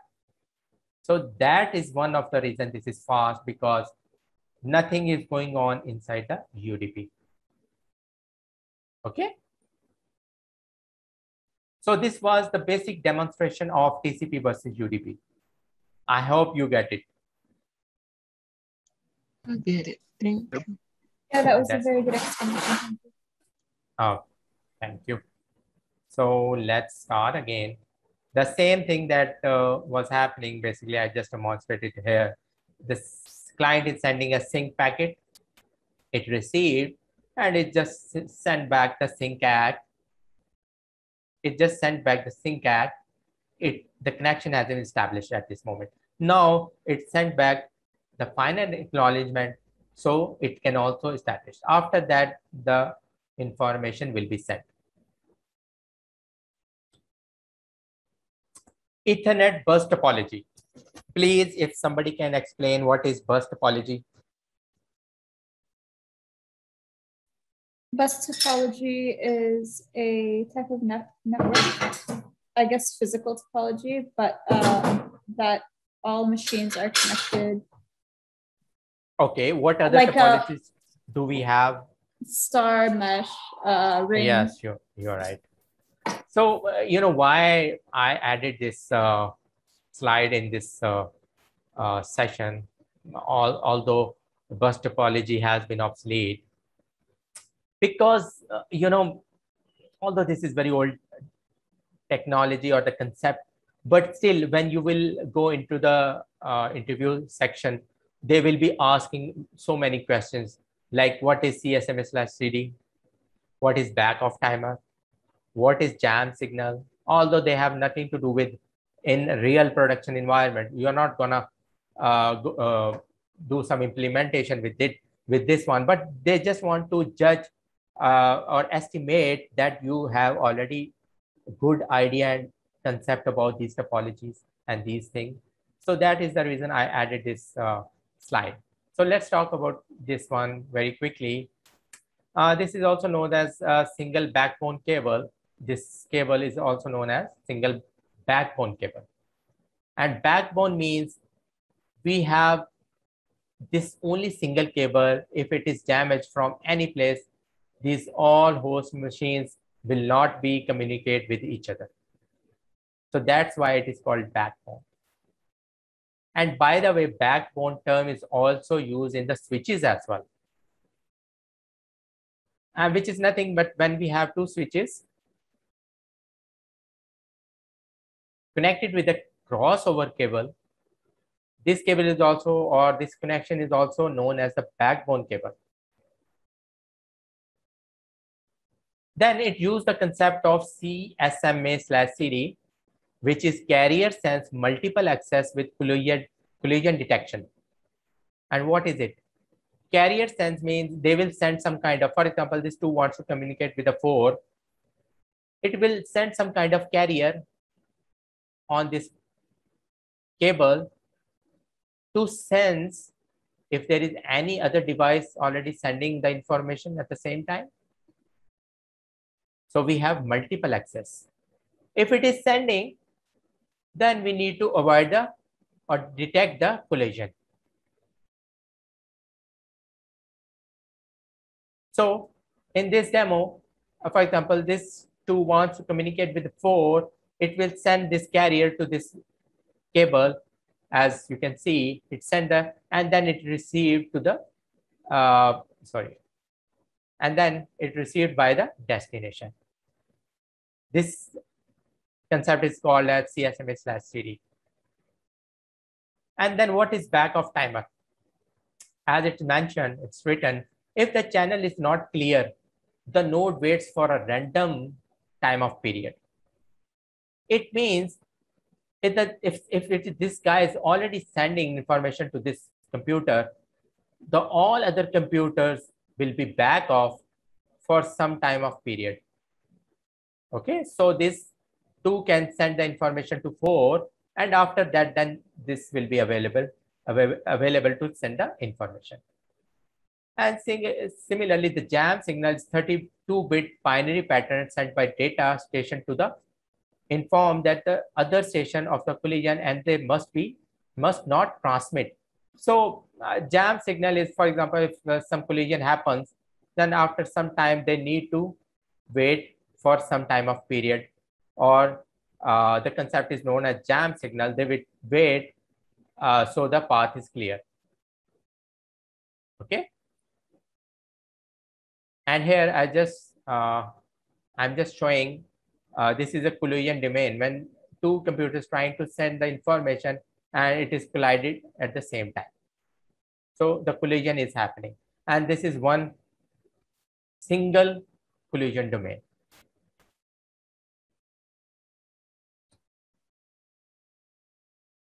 Uh, although we are going to talk about switches a lot in detail, but just uh, I added this slide so we can have better idea. And you know, in uh, because uh, in uh, your next modules, in the same module week one, uh, you are going to hit switches as well. So that's why this will be very beneficial for you to understand. Um, how switch switches and what is backplane?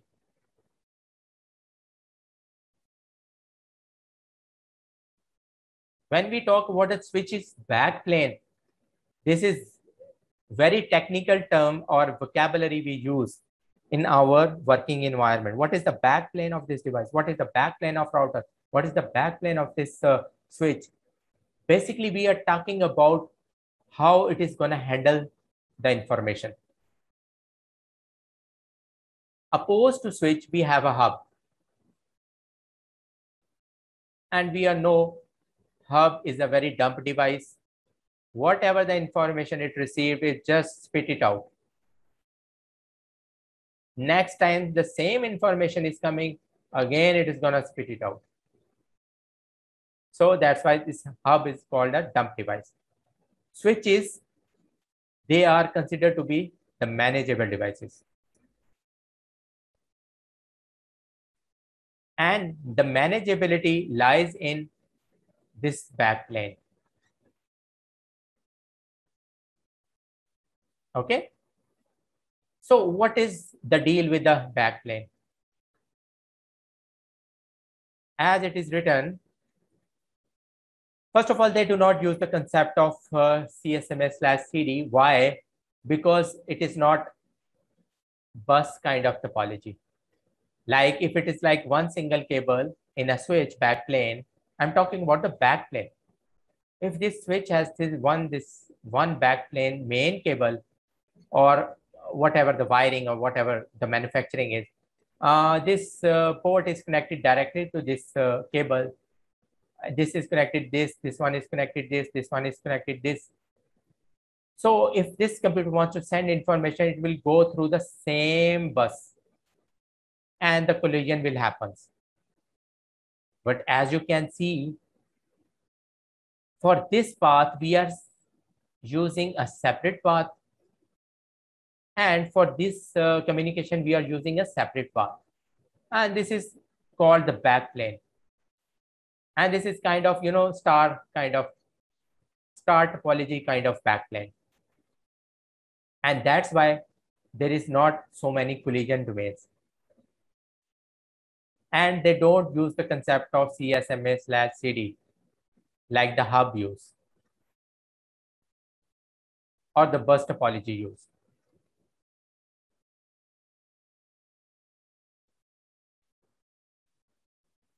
They use a table inside their memory called CAM table. So I was saying, what is the deal with the uh, with this uh, backplane? What makes it so intelligent?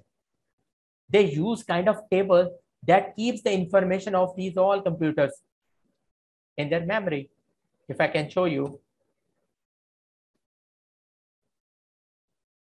as you can see, uh, let's suppose this one is uh, port number zero, and this one is one, and this one is two. One is connected, this quad A computer is connected to the port number one, and quad B, B, B, B, B is connected to the port number two. The switch is intelligent enough, it will create a kind of table inside its memory, which is known as content addressable memory. As you can see, the port one is connected with MAC address AAAA, which is our host A machine. And the port two is connected with the MAC address, which is computer B. So our switch is wise enough to know at what port what computer is attached with. So if I, if I can show you with the animation, as you can see, if our this computer wants to communicate, uh, if this computer wants to communicate with our printer, it is has a it has a separate path to follow. So it will not collide it with any other computers. So in, in, in other in other terms also that uh, Haif and Crystal, like you can manage specific ports. That's the switch capability, where you can go into the specific port and say, I want that printer to be connected to this specific this specific port in this switch. You can do that. And that what makes switch powerful from hub that you can actually go in and manage these specific like specific ports, right? Exactly. And in week three module, you are going to touch this concept as well. You are going to assign a specific port to someone specific VLAN or with a specific uh, computer device which can connect or communicate with a specific VLAN. So uh, this is just like, uh, you know, uh, some advanced topic, but just uh, to give you information that you are going to come across with this very soon. Okay. So far, so good. Okay, that's great. Uh, but there is one drawback in uh, switches, although it is manageable, but they have one broadcast domain. And one what broadcast domain is, whenever this uh, uh, this computer is going to communicate with this printer, it is going to hit all computers. So this is the shortcoming of a switch, but this can be overcome using the VLANs. which you, you are going to learn maybe in a week three module. And a lot in detail in a CCNA. I hope this is uh, this is uh, uh, you have already got the idea about this uh, slide. So let's uh, move on to the next slide. Uh, as I also asked uh, the question in the quiz, what is uh, likewise devices and what is unlike devices, unlikewise devices. So basically this is what I was talking about. This is likewise devices.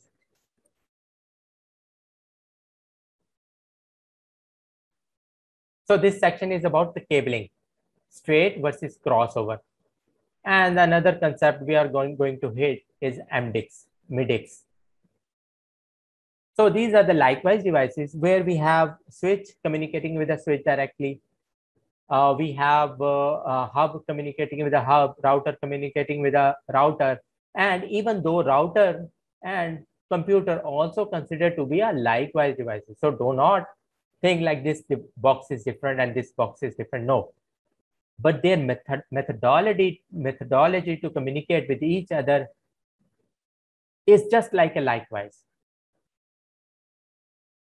they act like same for example this is we call router and this thing is also kind of router so these are likewise devices so what is the deal here the deal is when we connect these two likewise devices we always gonna use crossover cable and whenever we're to use unlikewise devices like switches here, router here, these are totally two different devices. We are going to use straight through cables. Okay. Then what is the deal with the MIDIX media dependent interface crossover? What is this thing then?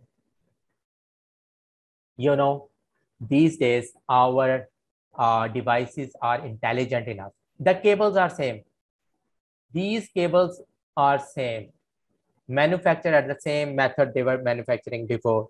But what is the, the, the difference now? These switches have some kind of port which is MIDIX enabled. And what does it mean MIDIX enabled? You know, these days you do not have a time to go to the market and buy a crossover specific cable just to connect these two devices.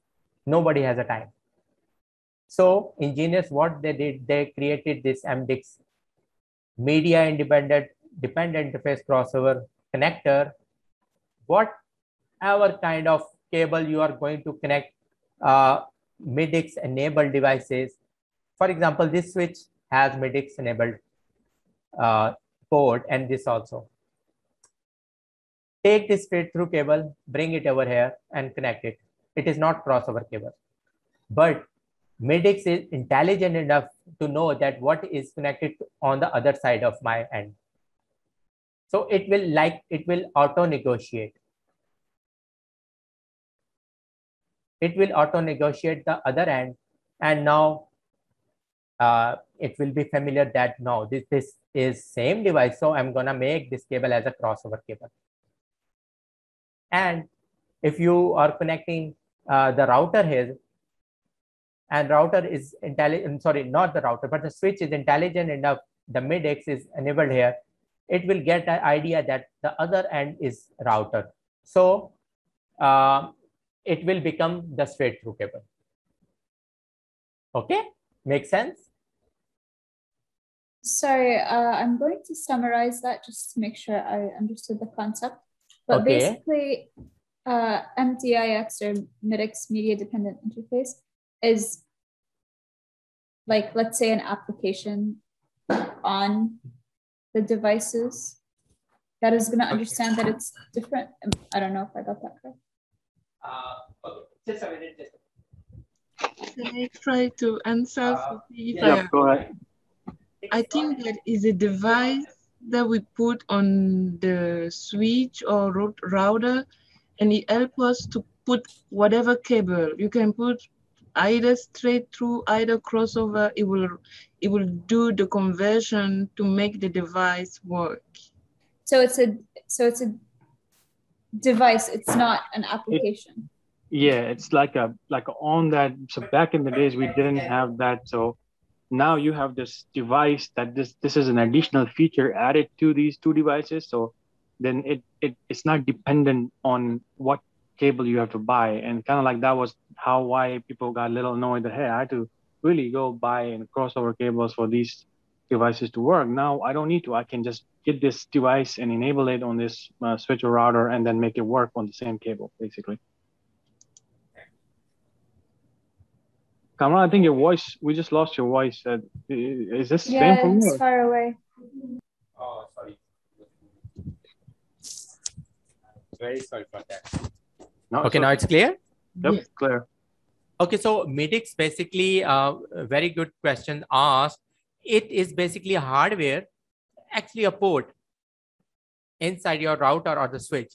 But behind the scene, there is a software Okay, so whatever means, uh, you know, Cisco, if we talk about the Cisco switches, we talk about the Cisco routers, they are hardware vendors, but inside they have very intelligent software which is running and taking the decisions. Okay. Oh, oh okay. So the answer to my question was it's both hardware and software. Yeah. Okay, okay that's fine. Cool. And then we can distinguish uh, between straight through cable and the crossover cable just by looking at this. As you can see, uh, this is just like the Xerox copy of this one. So as you can see this color coding and you have already gone through in uh, uh, the week one module, I think, or I think, or in the connector uh, section, you are going to hit this uh, topic. But this you can see, you know, the same combination we are going to use here and the same combination we are going to use here. So this information uh, I'm sharing because maybe in the future you are going to create one straight to cable. And on opposed to the straight, we have crossover cable. Whatever we have here, it is going to twist.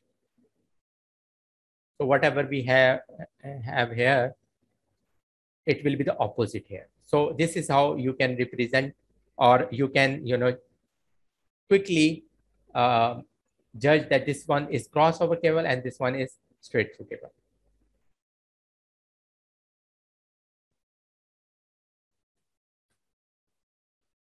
okay, uh, we have straight through cable, we have crossover cable, and then we have another very important piece of cable, which is called the console cable. Can anyone tell me what is it? Or what it is it used for? So, Crystal or for anyone, if I give you a brand new switch right now and I want you to configure it, how would you do that? Um, connections from, I don't know, uh, let's say a laptop or sorry, uh, like a PlayStation to the TV that would use mm-hmm. a console cable, correct? Or a laptop. Exactly. You're right. You're right. Same concept. We have almost the same concept.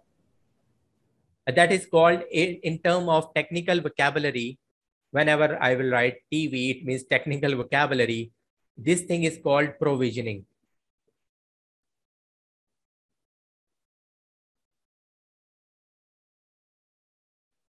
Let's suppose you are just hired in a um, an organ organization working as IT engineer, and you are given with the one brand new Cisco device, and they ask you to do a provisioning. And what provisioning is basically, you are going to do nothing but just provide a basic configuration on this router or the switch. So this thing is called provisioning. And this is happened through the cable called console cable. It can be done through many way ways, but this is the first and the foremost uh, method we will be using. So, so because you guys are coming from a support background, it's like, hey, and Christelle, it's like you getting into a business and they give you a brand new computer and now you need to configure that machine from scratch and and the first thing is what you're configuring that machine on a work group domain right it's not joined to a domain it doesn't have all the security nothing like that but you're getting in somehow right? By turning it on and you need to getting it, get get into that because now you got all the plugs connected and then the operating system. If the machine have operating system great. If not then you will actually have to install that and configure it right? So the concept of in Cisco is exactly the same way. You are using this cable, a laptop, and a brand new uh, Cisco router or switch for provisioning. This means that you're going to have to configure everything from scratch from the day it's restart or start the whole, uh, you know, IOS basically. Yes, great. So this cable is also known as the rollover cable.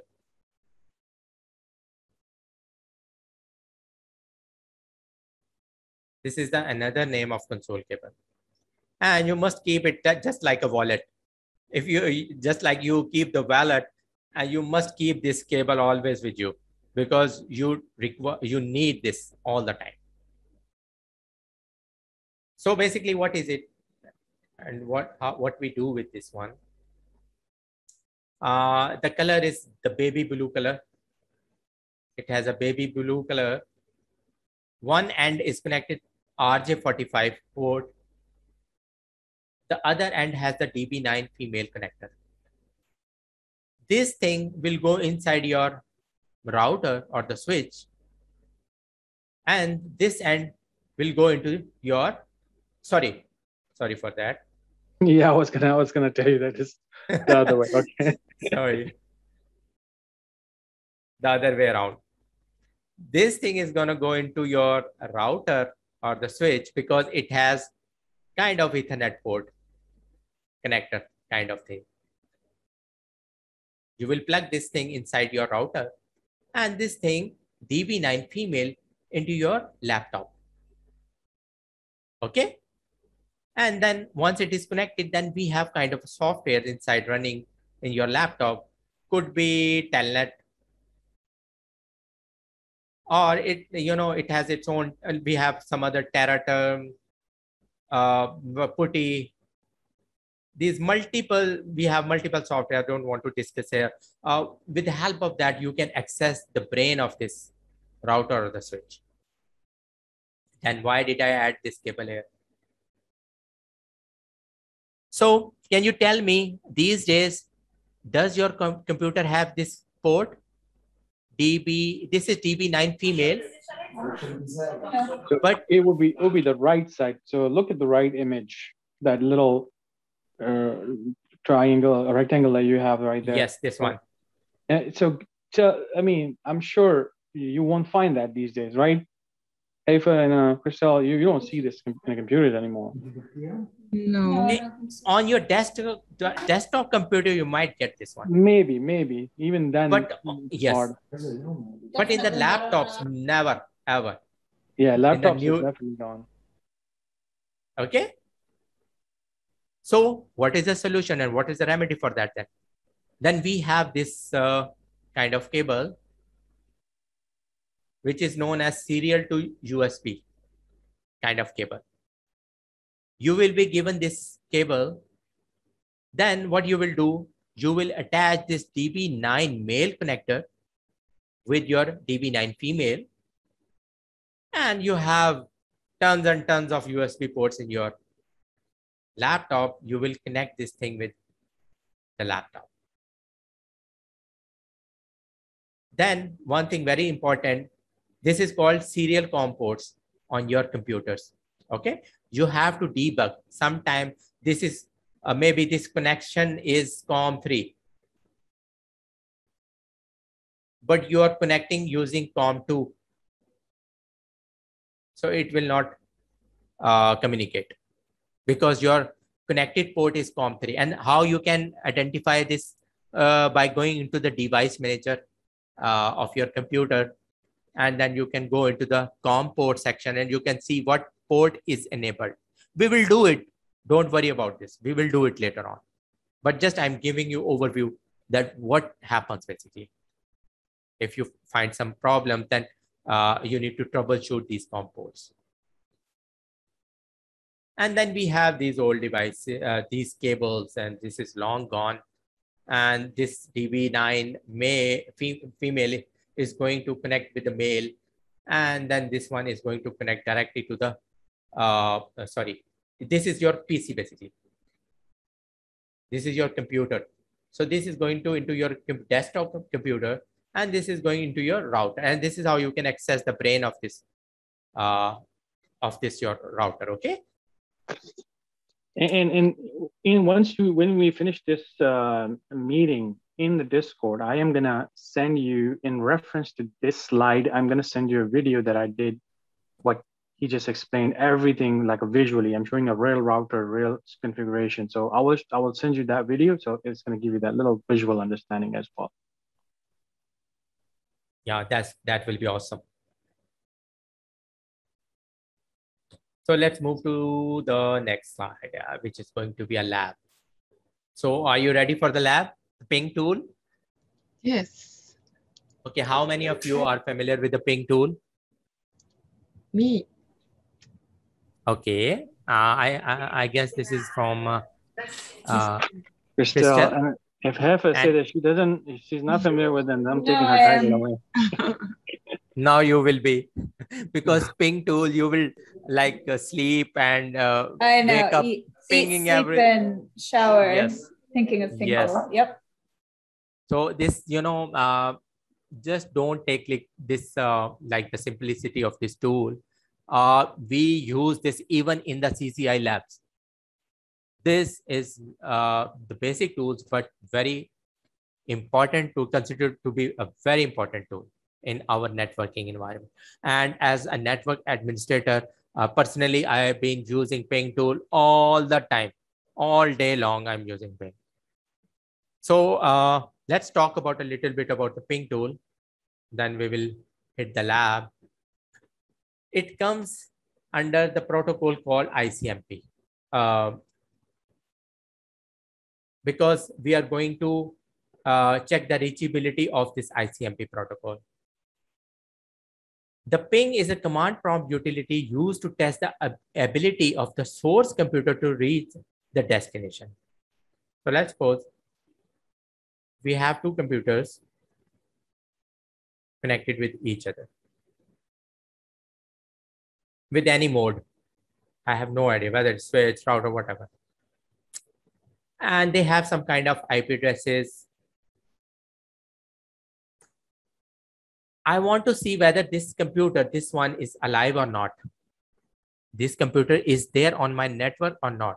This could be the PC, this could be my server, this could be even my access point because all devices have some kind of identification which is IP. So with the help of ping tool, I'm just going to hit this device with a ping tool. And this device is going to give me a reply back saying that I'm alive. So this is how, instead of going to that computer that is maybe some far away in a floor two and you are in a floor one, instead of I will go into the computer and I will see everything is working fine in that computer. Uh, this computer is on or not. I just try to ping that computers directly from my floor one. And if I receive the reachability, it mean that computer is alive. It has some options available. We will discuss a lot in detail in this uh, uh, demo. And we will talk when we'll hit these options. Uh, let's go to the uh, demo and then we will talk about these error messages. Then this will make sense.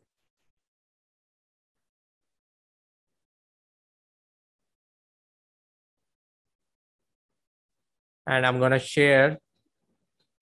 Uh, can you see this one? The command prompt?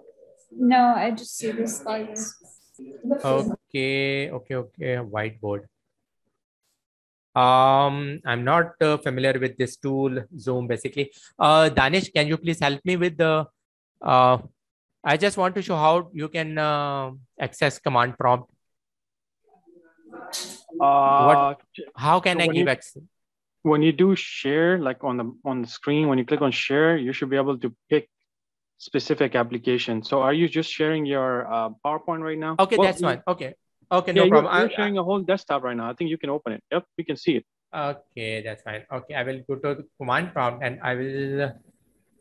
Can you see the command prompt? Wait, you can see. I can't see. No, I cannot see the command prompt. So I think you, you have the command prompt open on a second screen. You may have to bring it on the left side. Do you have two two monitors? No, I have one. Okay, okay. So min, so open on the bottom, click on the command prompt. We can see this. It's on your desk uh, taskbar. Click on the command prompt. Now? There you go. We can mm. see that. Okay, that's fine.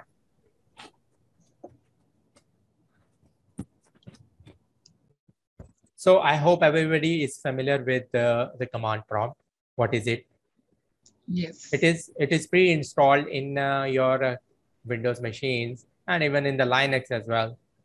Um, in the Linux, we sometimes call it shell or the console. Uh, and in Windows environment, we call it a command prompt. If you type on your search bar and type a command prompt or just type CMD, you will find this black console kind of application. Just click on that.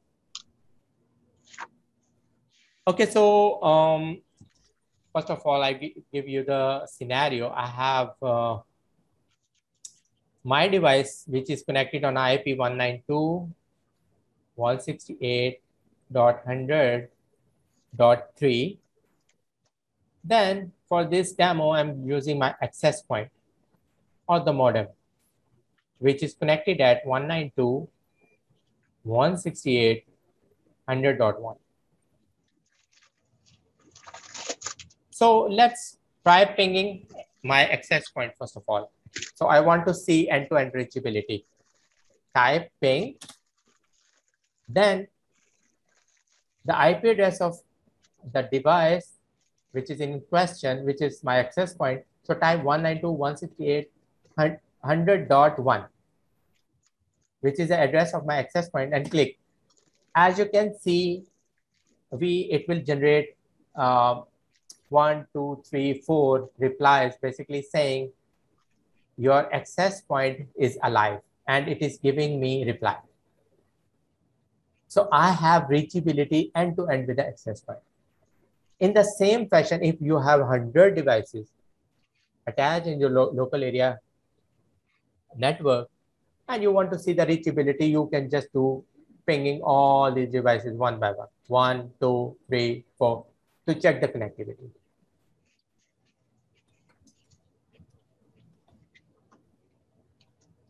Then if I want to go a lot in detail, what else ping can do? Just type ping, then hyphen or minus with a question mark and hit enter. It is going to show me another options, what else I can do with this ping command. As it is mentioned minus t, let's see what it does. So I am not going to go all, a lot in detail about this, all everything, what is doing but just the important options that we most often use in our working environment. Like minus T, if I ping the same my access point device with the help of option minus T and type 192.168.100.1 and hit enter. Before my reply stopped at the fourth point, but now as you can see, it is on and on and on it is just keep pinging that device. Why we need this minus T option? Because we want to keep, because this is giving me a reply, but sometime it happens, some devices not, not giving me reply. If it is not giving reply, it will be like this. Let's suppose we have 55. Now you can see reply from this uh, device saying destination host unreachable. So it means this is unreachable. Now with the help of minus T, I kept my uh, this ping uh, on continue. So, you know, so I just kept continue my ping. So why? Because then I will go to the another device, which is not giving me reply. I will try to find the solution. And as soon as I will start to see the replies coming from that device, it means it is uh, uh, there is end-to-end -end connectivity. So that's why we keep minus the options that will just keep pinging that device all the time. Then we have some another options. Type minus and question mark. Then we have minus a resolve address to host name. First of all, I try to ping my own computer, which is on 192.168.100.3.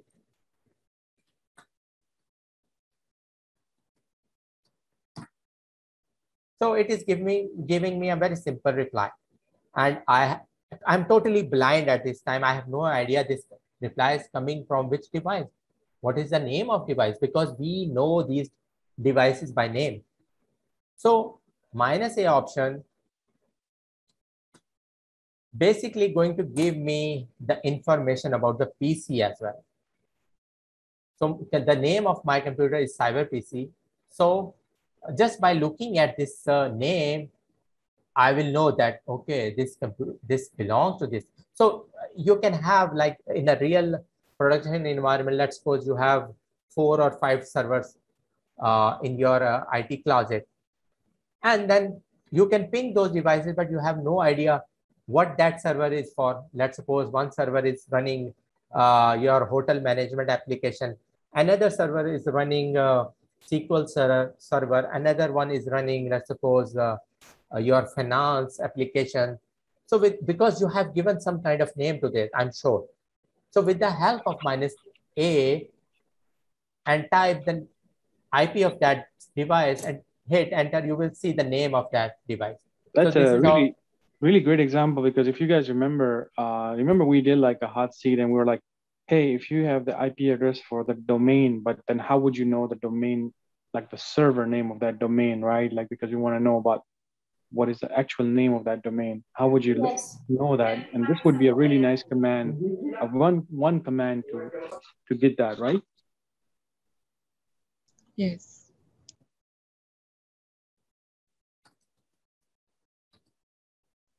I'm not getting reply from Hefa. Hefa, are you there? Oh, yeah, sorry, I said yes. okay. Okay, that's fine. Okay, let's go uh, some another options. Um, then what else? Uh, this is the number of uh, pings we can send. For example, uh, I want to send just one ping, just for some purpose. Oh, sorry. Uh, you have to mention how many pings you want to send after minus n. As you can see, it just send one ping. Okay. So there could be some reason, valid reason, uh, uh, the purpose that we want to send only one thing. So this thing can. So Kamran, can we use can we use this uh, specific one for let's say cabling issue? I know that sometimes there's a cable issue and we we want to run the command for a long time to see if the cable is fully working. Is this the command that you would prefer as a network engineer to use or the other ones? Exactly. This uh, ping minus n, um, you know, there is no any specific reason using minus n, but the one that is most being used is minus t.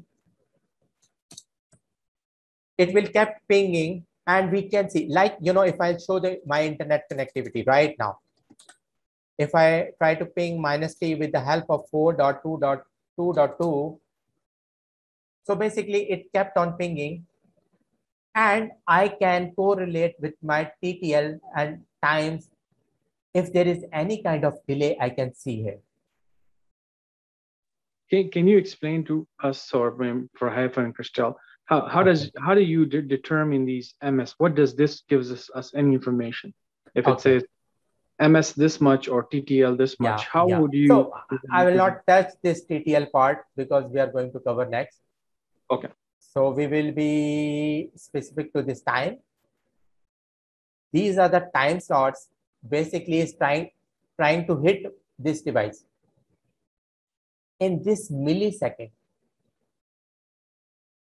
It means my first packet went in 147 millisecond, it hit that server and returned back. Again, 147, 147, it means my internet connectivity is so stable. But as you can realize here, hit something happened. It hit 140, 58 milliseconds.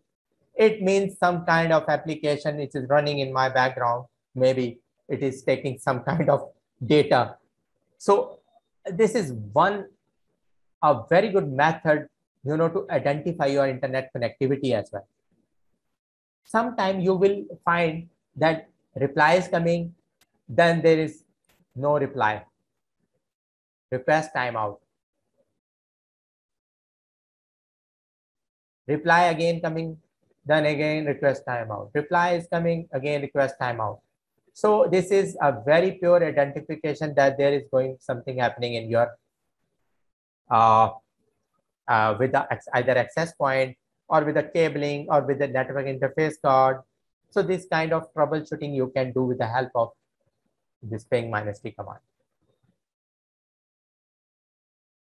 Clear? Thank you. Yes. Okay, that's great.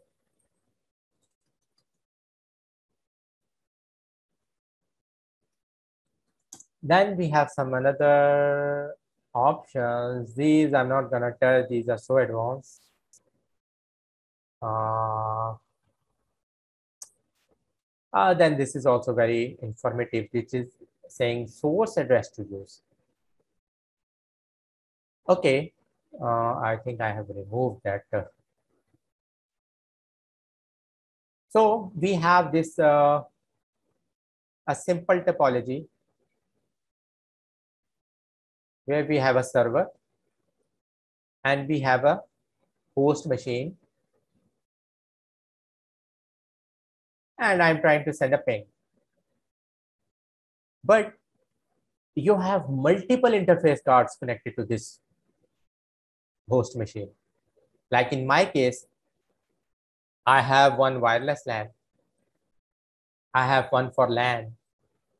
I have one for VMware 1 for virtual machine, for virtual machine 2.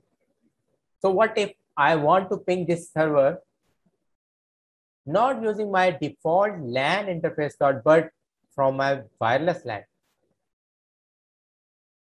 Then this thing will help us, minus S, which is basically telling me from which source you're gonna ping. So let's do this example here live. Uh, let's suppose if I go to ipconfig slash all to see all of my IPs.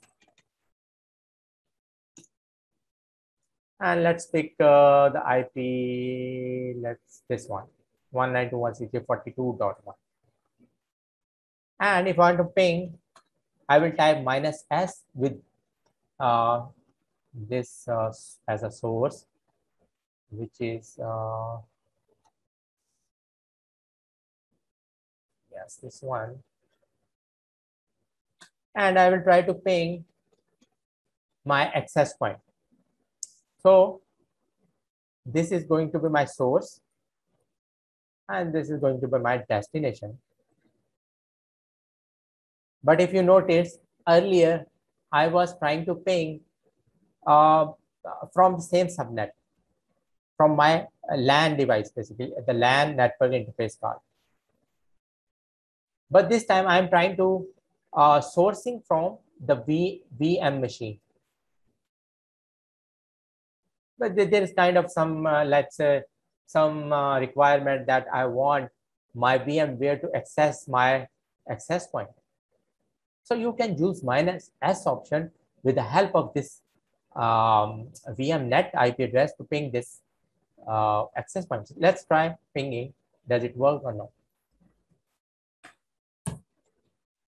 As you can see, transmit failed because uh, um, my router does not have any information about this one. But if I will do the same thing with the same subnet, oh, sorry, and, and the IP of my device is 100.3.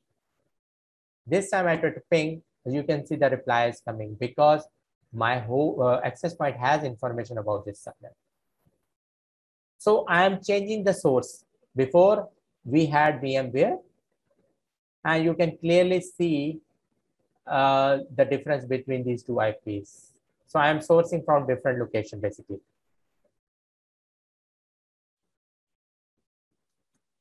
If I try to go some other options, and I'm not gonna go uh, do the demo for this one. If you have uh, IPv4, this is by default, we will type minus four. And in case of IP6, what if I want to ping IPv6 addresses? We can use like ping minus six. And then this uh, very long IPv6 address, something like this. And then you can ping this address.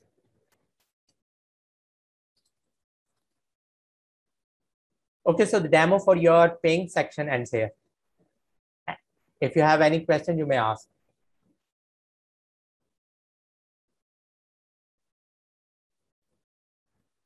Hello? No, we're good. Okay. I'm not getting any replies, so that's why I'm concerned that uh, everyone is there or no. No, no, we're Or I'm just talking to myself. No, no. No. Okay, that's fine. When you don't hear a reply like that, you can move on then. Okay, that's fine. Well, sometimes it happens that there is internet connect connection issues. Maybe uh, I'm connected, but you are not. So that's why you know I just want some echo from you.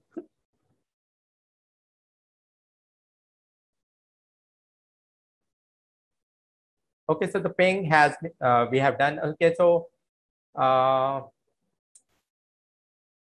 And again, this the I think for you guys, you you should after this, you know, try to ping your own home network. Try to understand because you have such a good example right there. You have so many devices. You have a router at your home. Because you're gonna have to start with extreme basics like that to understand your even your home network that level. Like ping it, ping JSS website. Try to ping it for a long time. Try to understand what's like you know the time things like that. And after this, you should be doing your own research to do a lot on ping side because it's great to get started like this. But again, you're always going to be, as a network engineer, going to be using the same concept, even in routing, even in switching, you have to do ping uh, other devices for, for you to do your work.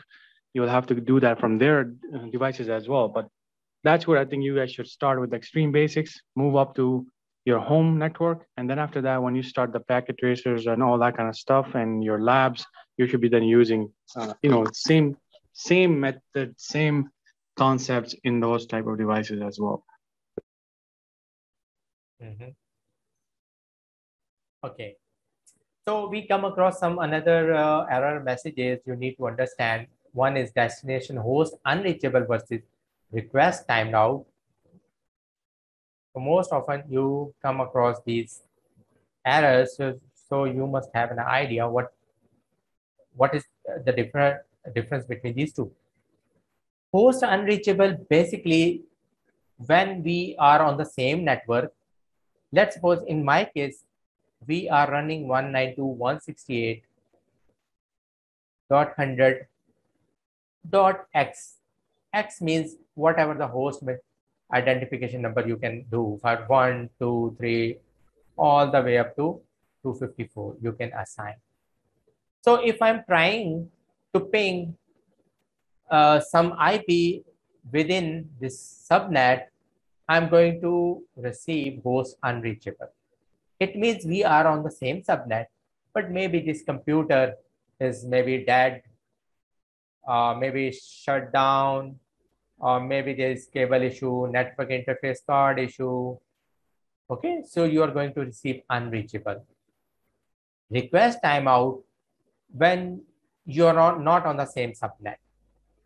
And this subnet does not exist in this domain these kind of errors you're gonna receive and we will discuss you know you don't need to worry about this we will go a lot in detail when we'll in a router and switches we will be pinging you will see several kind of errors there and these just i am giving you i just uh, fly by overview the difference between these two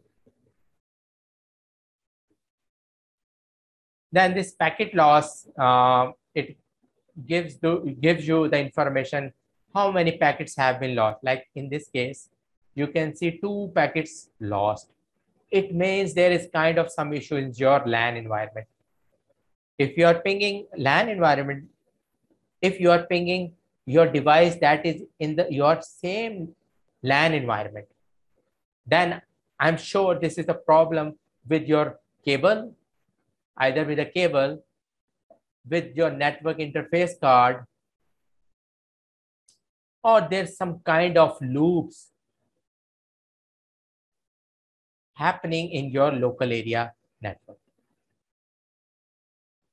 Similarly, if you are trying to ping uh, the Google that is not in your domain, if you receive this kind of errors, like as I said earlier, reply is coming, then there is request timeout. Then reply is coming, request timeout. It means you have some kind of serious internet connectivity is going on in your uh, uh, your uh, working environment. Okay. Okay. So let's move on. Uh, the other tool we're going to use is the trace tracer tool, also known as trace route tool. And what it does, trace route is a network diagnostic tool used to track in a real time the pathway taken by the packet on an IP network from source all the way to the destination. In a very plain English, what does it mean? We have host A here and some host B is somewhere far location. We have multiple routers in between and we will use this tracer tool to find out how far away this device is from us. So in this case, it's going to give me reply three, one, two, and three, and then it is going to hit the destination. So the tool is very simple, it is, but it is very useful. Why? Let's suppose your this router is down. First, you will do ping. Ping will tell that host is unreachable. Then your second tool, which is tracer, is going to be very handy. When you will apply tracer, it will hit this one. It will hit this interface because this is still working. Only I'm talking about this interface is down.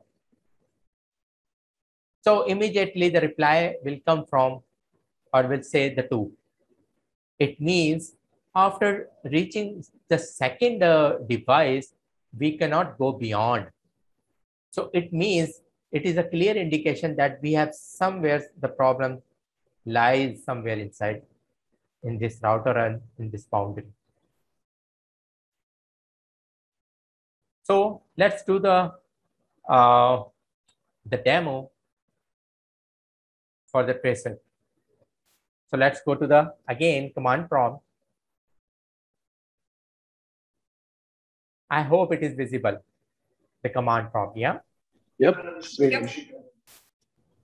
Okay, so you will type TRACERT tracer and the desired address. Let's suppose uh, we want to trace out how many, uh, how far job Skillshare server is from us.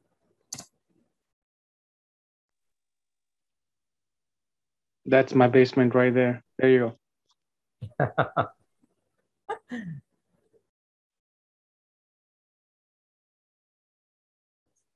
but this is very simple. It's gonna take so long. So I will go to some another option. So here you can see this is uh, 192.168.100.1, which is my Gateway. yes, my gateway. Or in simple term is my access point, the router. Then this router is connected somehow with the ISP, maybe the router. And this is going to the interface of this router. Then this router is connected with some another router on this interface, and this is going to be the uh, IP address for that. So it went how far? Three hops. One, two, and three. Now, in a real world example, you would use something like this, and Kamran, you can correct me. If you have a big building with four floors, four floors each have its separate switches, and let's say on the bottom floor, something happened and machines are not able to go outside, and you would use some type of command like this, like tracer which Yeah. then you can you can find out which switch on that floor is then having an issue, right? Yeah, uh, or a router. Uh, Yeah, I just want, yeah, yeah, Mhm. Danish, you, you can continue, you can continue. Yeah, and another example that I can give you guys that sometimes companies are using a you know two connections for companies because you don't want to rely on one connection. So if one come one goes down, and let's say one is a uh, fast connection, another one is a backup and a slow connection. Sometimes a lot of people complain, oh, uh, we are we can't use internet, uh, it's so slow. And this way, you could use a tracer to find out if your connections are actually going to the slow router or the fast Exactly. one Yeah, you could find that because of these commands. Just keep this in mind. There are different scenarios you can use this uh, command like that. Okay. yeah, that is very great example. Thank you, Danish. Another thing I want to clarify here, uh, just Danish mentioned the switches. Sometimes, uh, you know, the switches, they are the dumb devices, they don't have IPs. Okay. So sometimes the tracer will not work for these switches. If we have, let's say, we have multiple switches connected like a daisy chain fashion, and I will run tracer command from this machine to this destination, it is gonna tell me you are one hop away because it will not consider these switches as routers because they don't have any kind of IP connectivity and it will not consider these like the bumps in the wire. If we have the routers here, then yes, this is three hops away. But these days switches are intelligent enough, you can have switch plus the router inside that device. It is works as a switch as well as the router. Then in that case, if we have these things, then it will show the three hops. I hope you get it. Yep. Thank you. That was a good example because some people may not know that. Yeah, you can. When you when you when people ask you about that, oh, didn't I Mhm. hear that there are switches on layer three? That's what he's talking about. That Uh, the yeah. new one comes with that capabilities. It's not that the whole switch is like a router. It's just the capabilities being added to it. Yes, right. Okay, then we can go in detail about tracer and the same method way we did with the ping, tracer minus, minus and the question mark, and you will see there is not much going on in the tracer as opposed to the ping. So we will be using only this, I think. Yeah, that's it. And then we can use the source address the same way that we uh, did for uh, um, in the ping, but this will go for the IPv6 only, as you can see. So uh, I did research and I did www.jobskillshare.org and uh, sorry, There's a typo in there. uh, research, then jobskillshare.org. Yeah, as you can see, it is taking so long here. Why? Because it is trying to uh, resolve the DNS, the name of that, uh, uh, this, uh, this uh, name of this host machine. So every time it hit this device, it's trying to resolve the name. This we don't do not want. So what is the solution for that? You want to process preset uh, very fast with the help of minus D. And it is clearly mentioning here, do not resolve address to host name. So the same thing we're gonna um, uh, do with the help of minus D command and you will see the difference. You can type minus D option here. And now, as you can see, this is much more quicker than before. Now we can clearly see how far job skill share or is from us.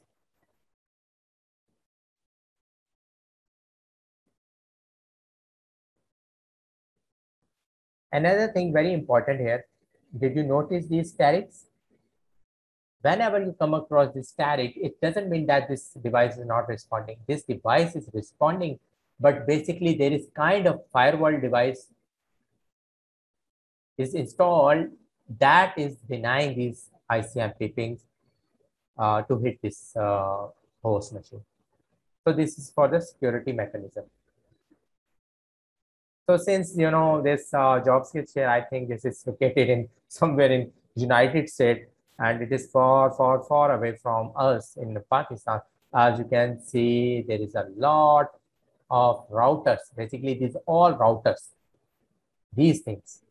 Can we say that now it, it took some type of path or a best path, or is that a correct term to use? Exactly. You can use, uh, for example, uh, you can, if JobSkillshare has multiple servers, okay, then it is not going to use always the same path. Maybe it will use some different path. It find it better than the other one. So from here, you can also um, see that sometimes you are hitting less routers than before. Okay. Okay. Sorry, I'm eating. Yes, okay. So I just, uh, I press control plus C uh, to disconnect this one because it is taking so long. So this is preset command. And as I said, this is very helpful tool uh, when you have multiple uh, when you have multiple devices in between like routers and we have no idea which device, for example, this one is uh, disconnected or shut down, uh, then we have reachability all the way up till this. If, if I'm trying to ping from this. So this is how I'm going to uh, imagine that uh, we have the problem somewhere in this router. So that's is where Tracer tool is being used. And this is very helpful in your day-to-day -day, uh, working environment. Okay, so let's move on to the next slide, uh, which is NetStat tool. Uh, you can consider this is like the monitoring tool, but in a low end.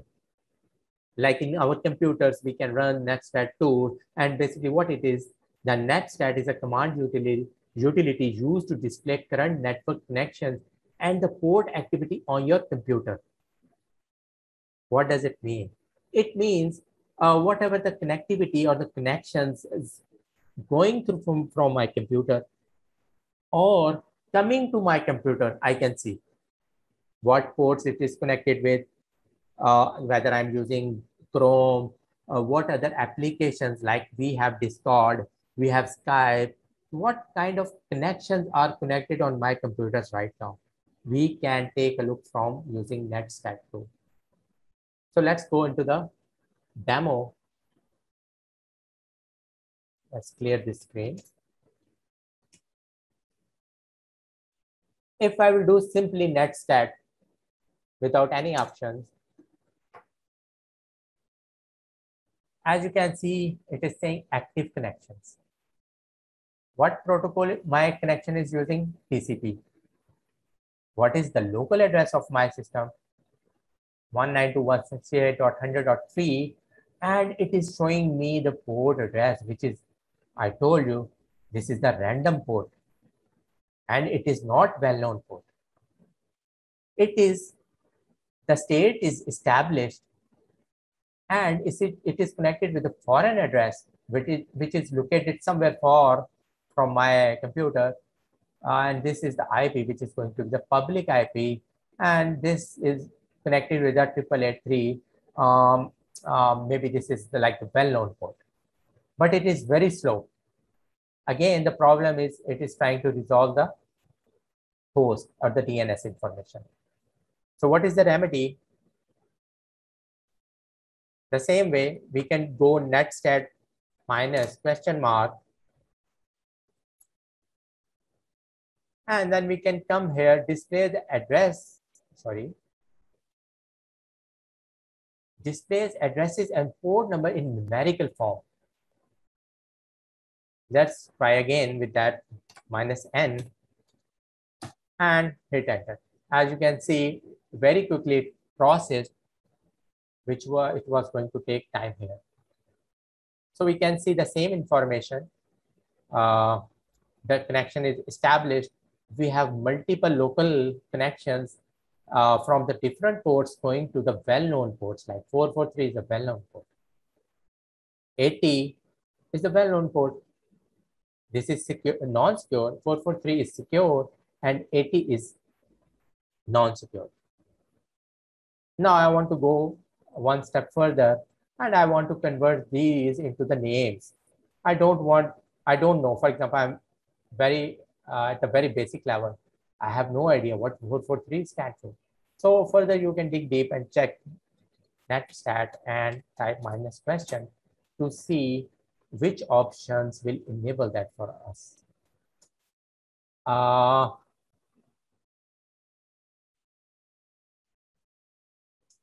then we have fully qualified DNS uh, domain names as well.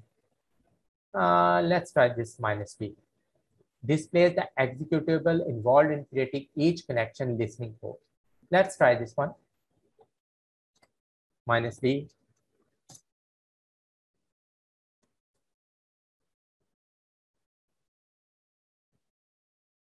And this minus B option basically is giving me information not only uh, what kind of protocol I'm using, but also what kind of application I'm using. So you can imagine how this, this could be, yeah, this could be a great way to find out if somebody is complaining about, you know, hey, I, I'm having a lot of issues. My computer is very slow, or my computer is being like, you know, doing weird stuff, but they can't see it, right? this could be a great way to actually run this command and find out if there's a background application that's doing a lot of stuff from exactly. the command line. Exactly. And somebody raised this question as well earlier that uh, um, if I disable or uh, one port out. So as you can see clearly here Zoom XZ. Zoom, what kind of protocols, uh, the port number it is running as a source, and it is using the well-known port HTTPS. So it means Zoom is using a very secure connection. Sorry if uh, I'm getting ahead of myself, but what's the difference between established is, is I think direct, but close wait and time wait? Okay, so established is basically this is I'm connected with. Okay, this connection is currently established and these are previous connection which is waiting to close. And similarly, time wait is it has already expired. Like it's wait. I don't understand. Like when it says establish, you're actively in that session. Yes. So no, no, I get up. that one. I just mm-hmm. I don't get time wait. Like it's expired. Yes, it is expired. This is like you can say consider it like uh, the session that uh, a long ago it happened. Now it is waiting to time out, in short. Okay? Yeah, so your computer, your computer is going to keep some kind of, you know, connection to close down. It won't just immediately close everything. Do so you remember we, we we talked about the sessions? Yeah, like it's go the session goes out. Yes. There yeah. are several sessions going on, and some of them are waiting to time out. Okay. Okay. Okay.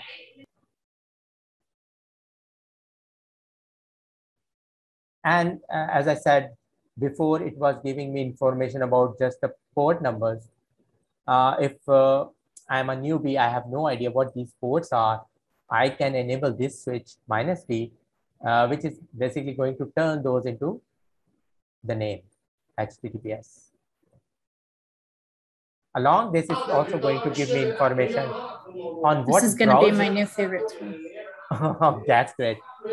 And also this is going to also tell me, uh, okay, uh, what kind of application is connected. Haifa, sorry, Haifa, can you mute yourself? There's a lot of noise coming. okay, Okay. Let's head over to another switch if we can find something Mm. then minus A is going to display all connections and listening ports, even that is not being used. So let's do let's add with the help of minus A. So as you can see, this is established. These connections has been established. But just take a look, these are the listening ports. Means my computer is ready to listen on these ports. These all. But this is not a good security practice, by the way. We need to close these ports if these are open. So basically it is telling me that these um, multiple uh, uh, ports are open. And if you want, I can connect and I, I'm listening on these ports actively. Okay. Then what else do we have? Something we can use. Uh, but just FYI, some ports are listening. Uh, they're open for normal like connections for your computer to work with other computers and you know your own local adapter have when you see 127.0.0.1 that's a loop address right so you you don't exactly. yeah. that's not like your open address it may be using just your own adapter to listen to things that is happening inside your computer so yeah, yeah. make sure you guys don't go and start blocking everything you know something will not work on yes. This is just for the verification. You know we can check what is happening and what is going on in our network. Some rogue pc may be connected so you can identify directly just by taking a look of the ip ip and then you can ping and you can resolve that ip to identify what host basically that is okay other than that uh, we have this um, we, we don't use this often but let's try this one. Net stat minus f. Uh, basically, it is going to resolve the fully qualified domain name. Just like in case of job skill, we have www.jobskillshare.org. So this is called FQDN. So as you can see here, uh, maybe somewhere I'm connected to Amazon, or I think this uh, job skill share basically hosted on Amazon. So as you can see, it is giving me a fully qualified DN domain name here. Okay.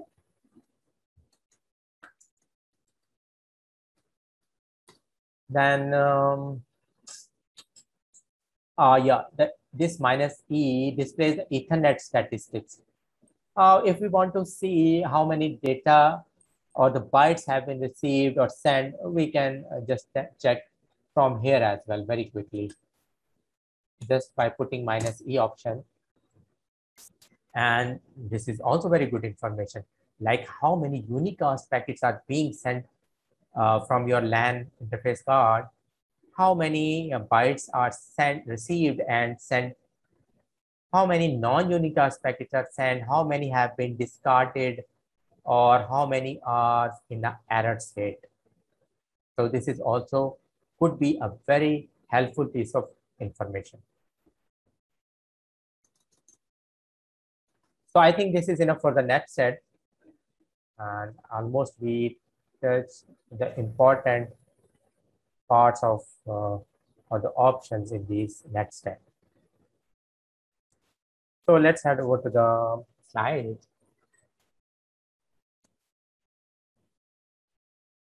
Okay, then we have some other tools like our ipconfig. Uh, sometime uh, we have some DNS issue with the help of ipconfig slash uh, slash flush DNS, you are going to flush your DNS information. And you know, I'm going to discuss this thing a lot in your week two module. Then every computer has some kind of MAC addresses or even every network interface card that is attached on your computer has different MAC address.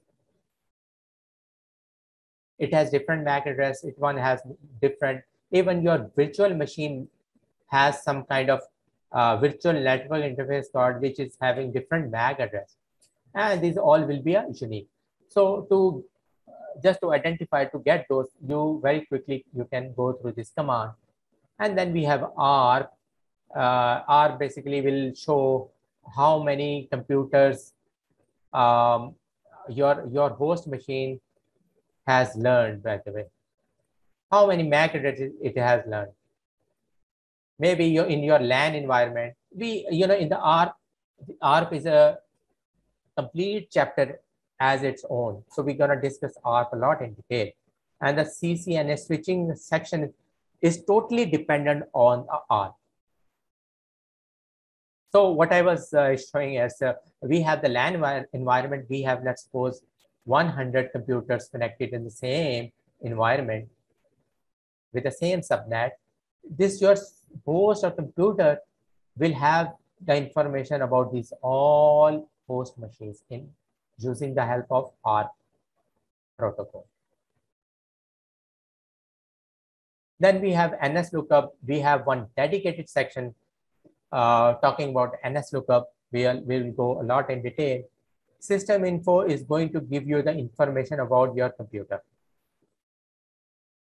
And I will, I will de demonstrate this one as well. Route print is just like if you are familiar in a routing environment, we have command show IP route.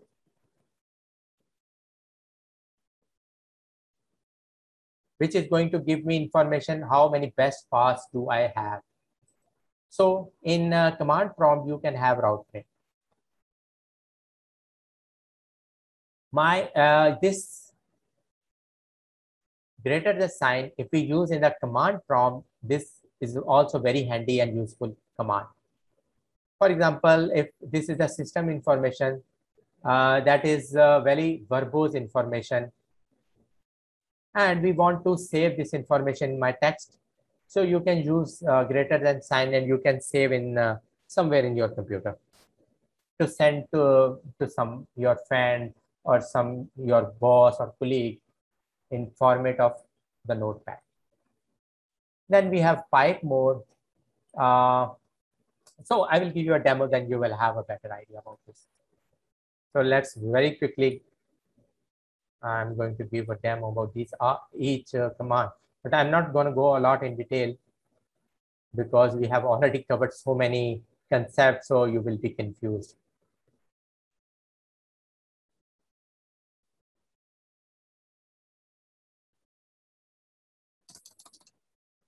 I will clear the screen.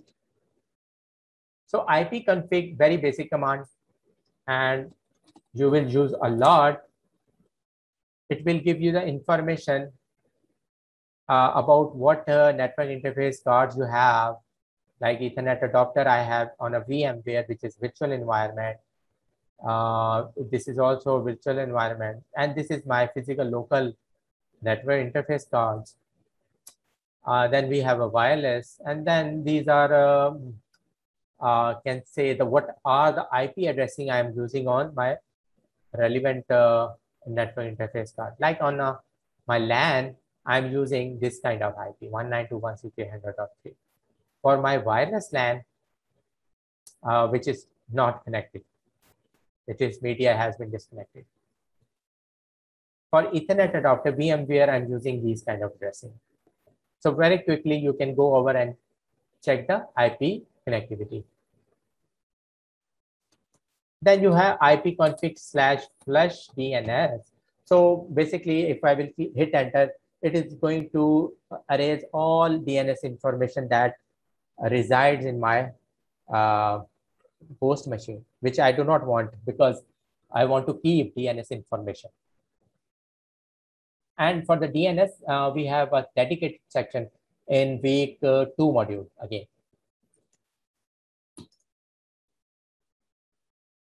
Then the, we have get MAC. If I'll simply press or type get MAC and hit enter, it is very quickly going to give me information about the MAC addresses. But the problem is it is not giving me what this physical address is connected with, which interface or which NIC card, network interface card. To get that, you type get MAC and type slash B, hit enter. If I'll just expand this one.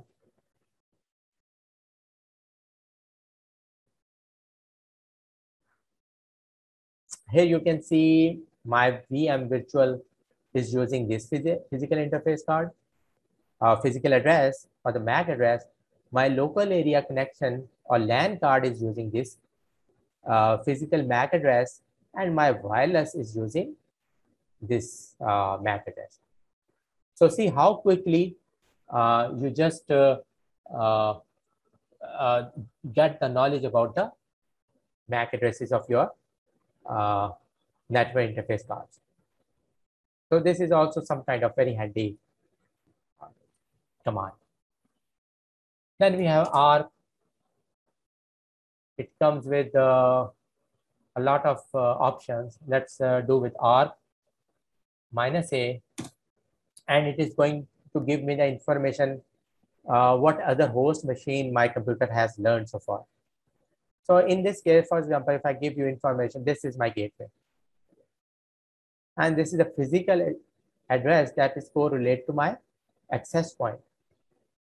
So instead of resolving this MAC address, it will send ARP and it will receive ARP, reply, and then I will get this MAC address. It already keeps this information saved in its ARP table. Why? When I want to uh, reach my access point, it will go directly to MAC address and just go directly to the access point. Instead, going through some another process which I'm going to discuss in um, subsequent lectures. As I said, NS lookup, uh, we have uh, one dedicated section for NS lookup. But just um, give you information what it does. If you hit NS lookup, it is going to give me information what I, my gateway address is connected.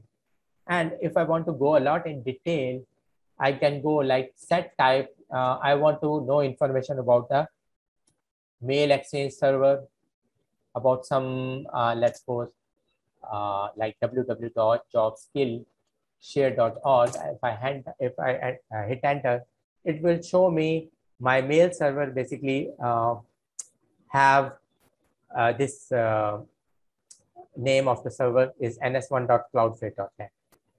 So this is going to give me the information about my mail exchange server. So not to worry about if you are not getting this at this time because uh, my intention is just to make sure you have this command in your tool belt. And this is we're going to discuss a lot in detail in subsequent videos.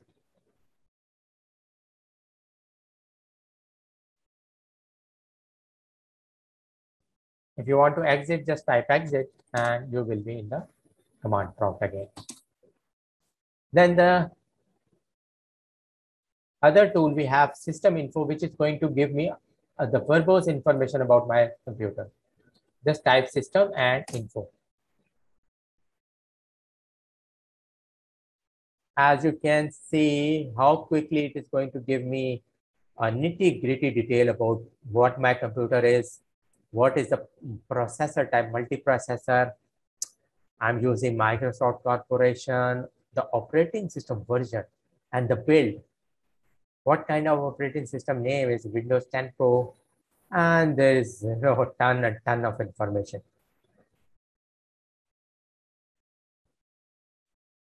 Then we have route print. If you do route print,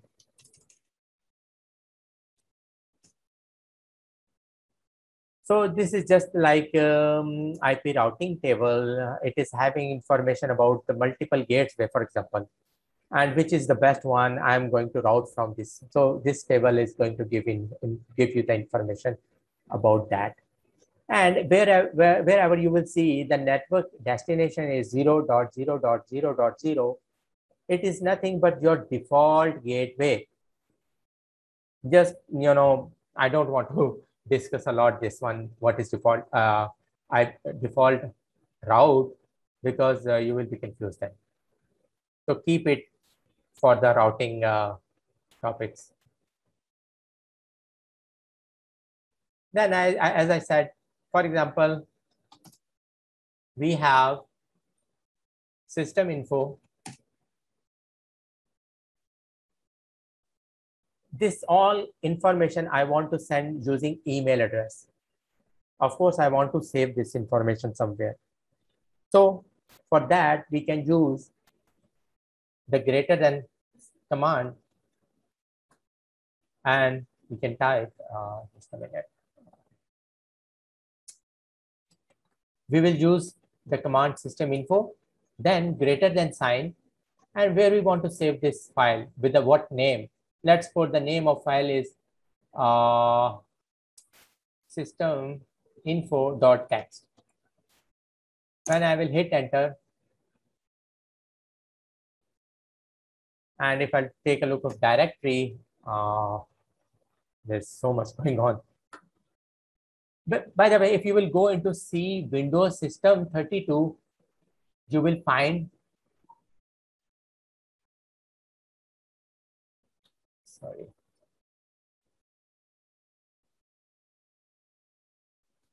You will find this file systeminfo.txt, which will be having the information about your system information. So this is how, how, how very quickly you can say whatever the command you are going to give, and it will be saved in this uh, text notepad with the help of greater than sign. So this is the syntax. Then the last command is slash more, and this is also very helpful and handy. Like in this case, if I type directory, and you can see there's so many things, uh, so many pages uh, it is going through, but I do not want this behavior. I want page by page. So what you can do, you can type uh, directory, then pipe command and more. Now you will hit enter, you will see it is gonna go page by page. Okay.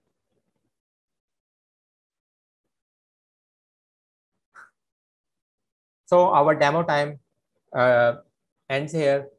If you have any confusion, you can ask the question. Or shall I proceed? I'm good. I'm also good.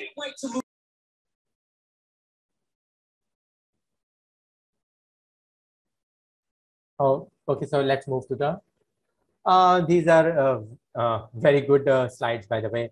It is going to give you the, give you the information about uh, how you're going to do the troubleshooting in your production environment. And these are real case studies, by the way. So let's read. And this is very in uh, simple plain English. We have multiple multiple telephone lines are coming to your IT closet where you are planning to install a new DSL modem. The lineman confirmed, the lineman basically, in your case, maybe it's from AT&T service provider, uh, who enabled the internet connectivity in one of your telephone cable. Now he wants you to connect the DSL modem by clipping RJ11 connector to the right cable. Which proper tool you will use to find that particular cable to connect with modem? So if I give you these choices, so basically, in, uh, if I can demonstrate, because I'm sure you didn't get this, what I'm trying to say. If I go to the whiteboard and illustrate what I'm trying to say, you have office, not the office, but your organization. The name ABC. You have somewhere IT closet in your office, uh, in your organization Then we have the demarcation point.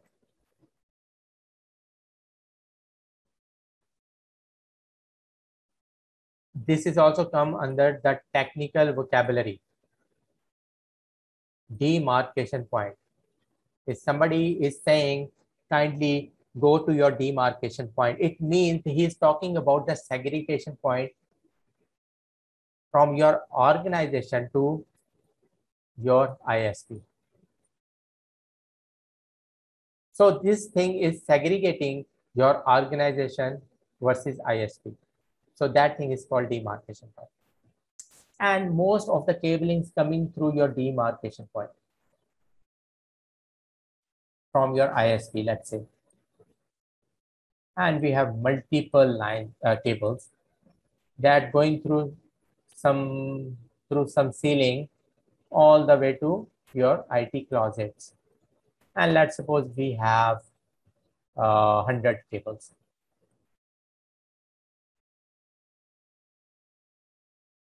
Then the lineman This is lineman, by the way. He enabled internet connectivity of one of your cable. You are here in your IT closet. He made a call to you saying, I have enabled internet connectivity of one of your cable. Now, this is your headache to find which cable is that one. So I hope you get my analogy here. So let's go back to the slide. So this is what I'm trying to explain here. Uh, multiple uh, cab cables are coming to your IT closet. Now you have to identify that cable. Which proper tool are you going to use to identify? Please tell me. Number two, I think it's called toner and. Yes. Okay, so number two. This is from who? Haifa? Yes. Yes. I choose the same. Okay, the crystal. Okay, tell me, crystal. Yes, the prawn and the tune and prawn. Exactly, you are very right. You will connect this end to the demarcation point and plug RJ11 connector because I'm talking about DSL modem. I'm talking about RJ11. So this thing has uh, RJ45 as well as RJ11. So you will plug one end to the RJ11 you will switch on this device and then you will take this machine or whatever you want to name it the other end of this uh, this device you can go into the IT closet and you will try to place this thing on these cable one by one and you will listen the sound. And uh, you know for uh, if it is not connected or that this device is uh, this cable does not have this uh, connectivity with this one you will hear a different noise. But as soon as you will reach let's suppose this is the one uh, which is uh, connected with this device. As soon as you, you will uh, bring this device near to this cable you will see a very different kind of noise which is which will identify that this is the one cable that you are looking for. Okay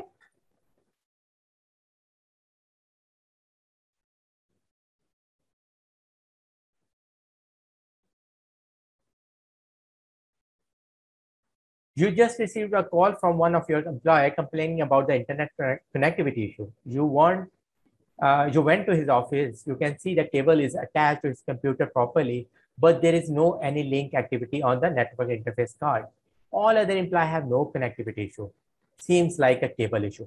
Which proper tool are you going to use to check the cable is damaged or not? Yes. I, I don't know what it's called, but number one.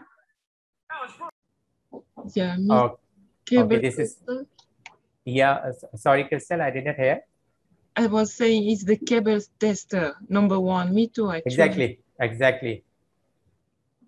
Excellent.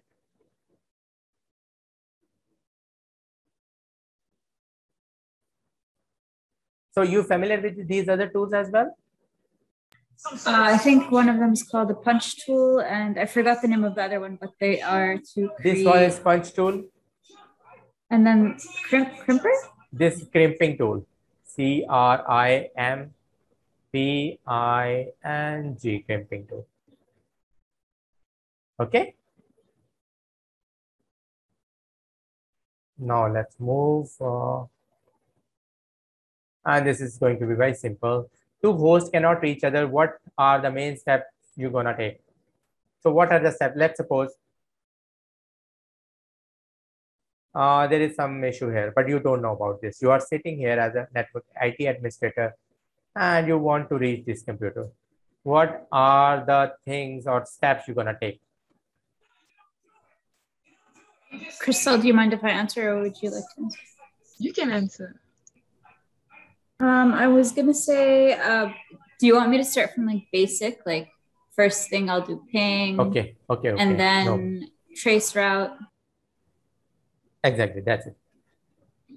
That was the whole point of this creating this slide. So with first thing, uh, tool, you're gonna use Ping, which we have already gone a lot in detail. And then, uh, sorry, Tracer. tracer. Yeah. Ping will tell the reachability, which is failing. The tracer will tell how far I can reach.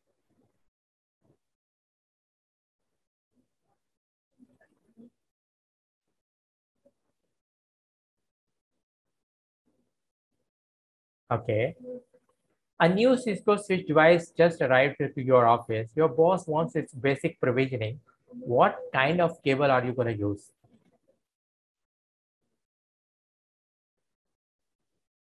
Yes. Number two, the console cable. Okay. How about you, Hive? I agree. This one? Yes. Yes, you are right. Okay. What is this cable then? Uh, G45. I didn't hear. Sorry. Uh, I think she said RG45, and I agree. RJ45 is a connector.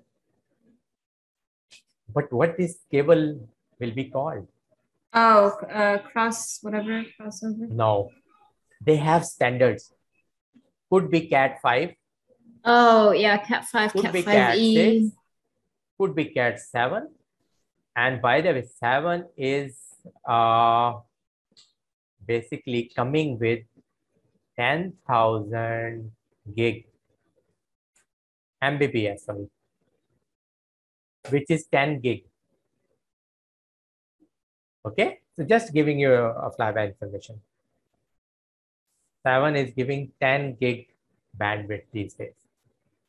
And this is the most latest cable these days. We have other Cat 5, Cat 6, Cat 6E, which support like this one is supporting uh, 10 Mbps. Then we have 100 Mbps, 100 base T as well. Okay. And how about this one? And this is obvious. What is this cable? Any idea? Fiber. Mm-hmm. Okay, Heva, you?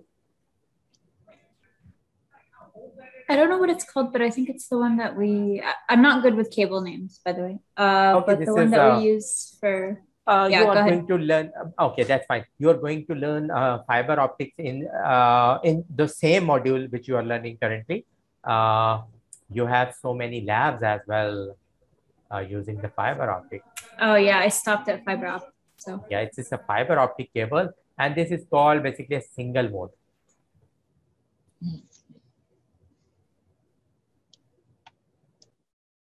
Okay. Okay. Okay, this is very simple. Uh, mm, uh, if you're uh, basically how you people creating diagrams, networking diagrams. What kind of software you are using? I think I've used the Cisco one before. I forgot its name now. Uh, It's a Visio, packet maybe.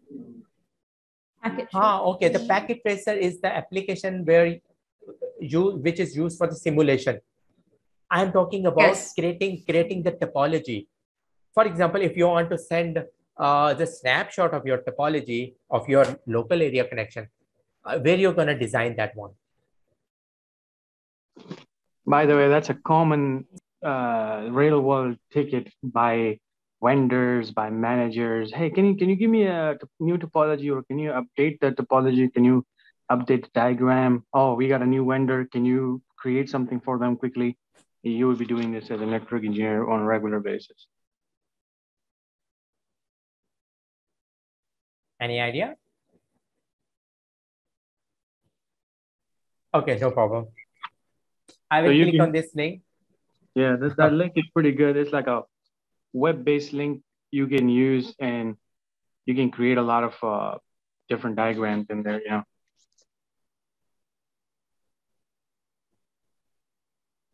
So link is available and uh, Danish can share this slide. So uh, you can copy and paste this link. So can you see? Yes. Okay, so uh, this is the landing page and you are going to draw uh, your network topologies here. And this is uh, very simple.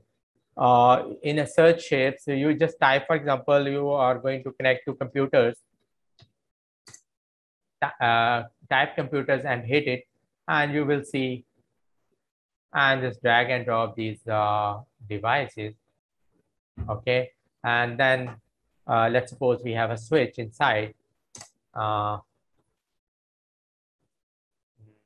and then you can use, uh, let's see, this one is okay. Then we have like the switch in the middle. And just I want to connect this with the cable.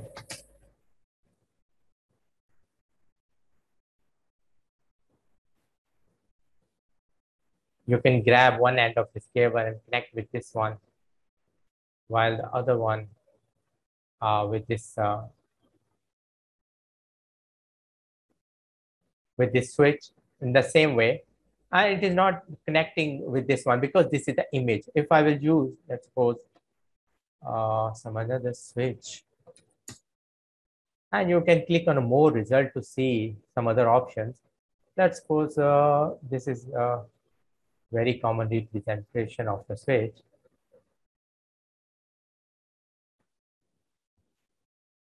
And just delete this one, select this one. As you can see, if you mouse over, you can do with this one. So this is how you are going to connect your piece of information one by one with. So this is how you can create very quickly your topology. And if you move this one, you can see uh, your connections is not disconnecting. So you can move anywhere, wherever you want. So see how quickly you can create your topology. So I just added this as an add-on so you can have a better idea as a basic IT network engineer at the beginner level. If somebody asks you uh, to design the topology, uh, at least you, you should have a better idea uh, where to go and how to uh, create. And similarly, you can like drag and drop the routers and we have so many options available in this.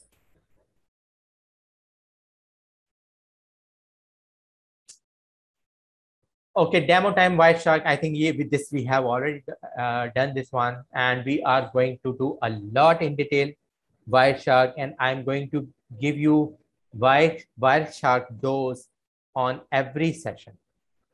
And I will make you expert in this Wireshark. So I'm not gonna give you a demonstration on this Wireshark. You have already gone through the TCP UDP.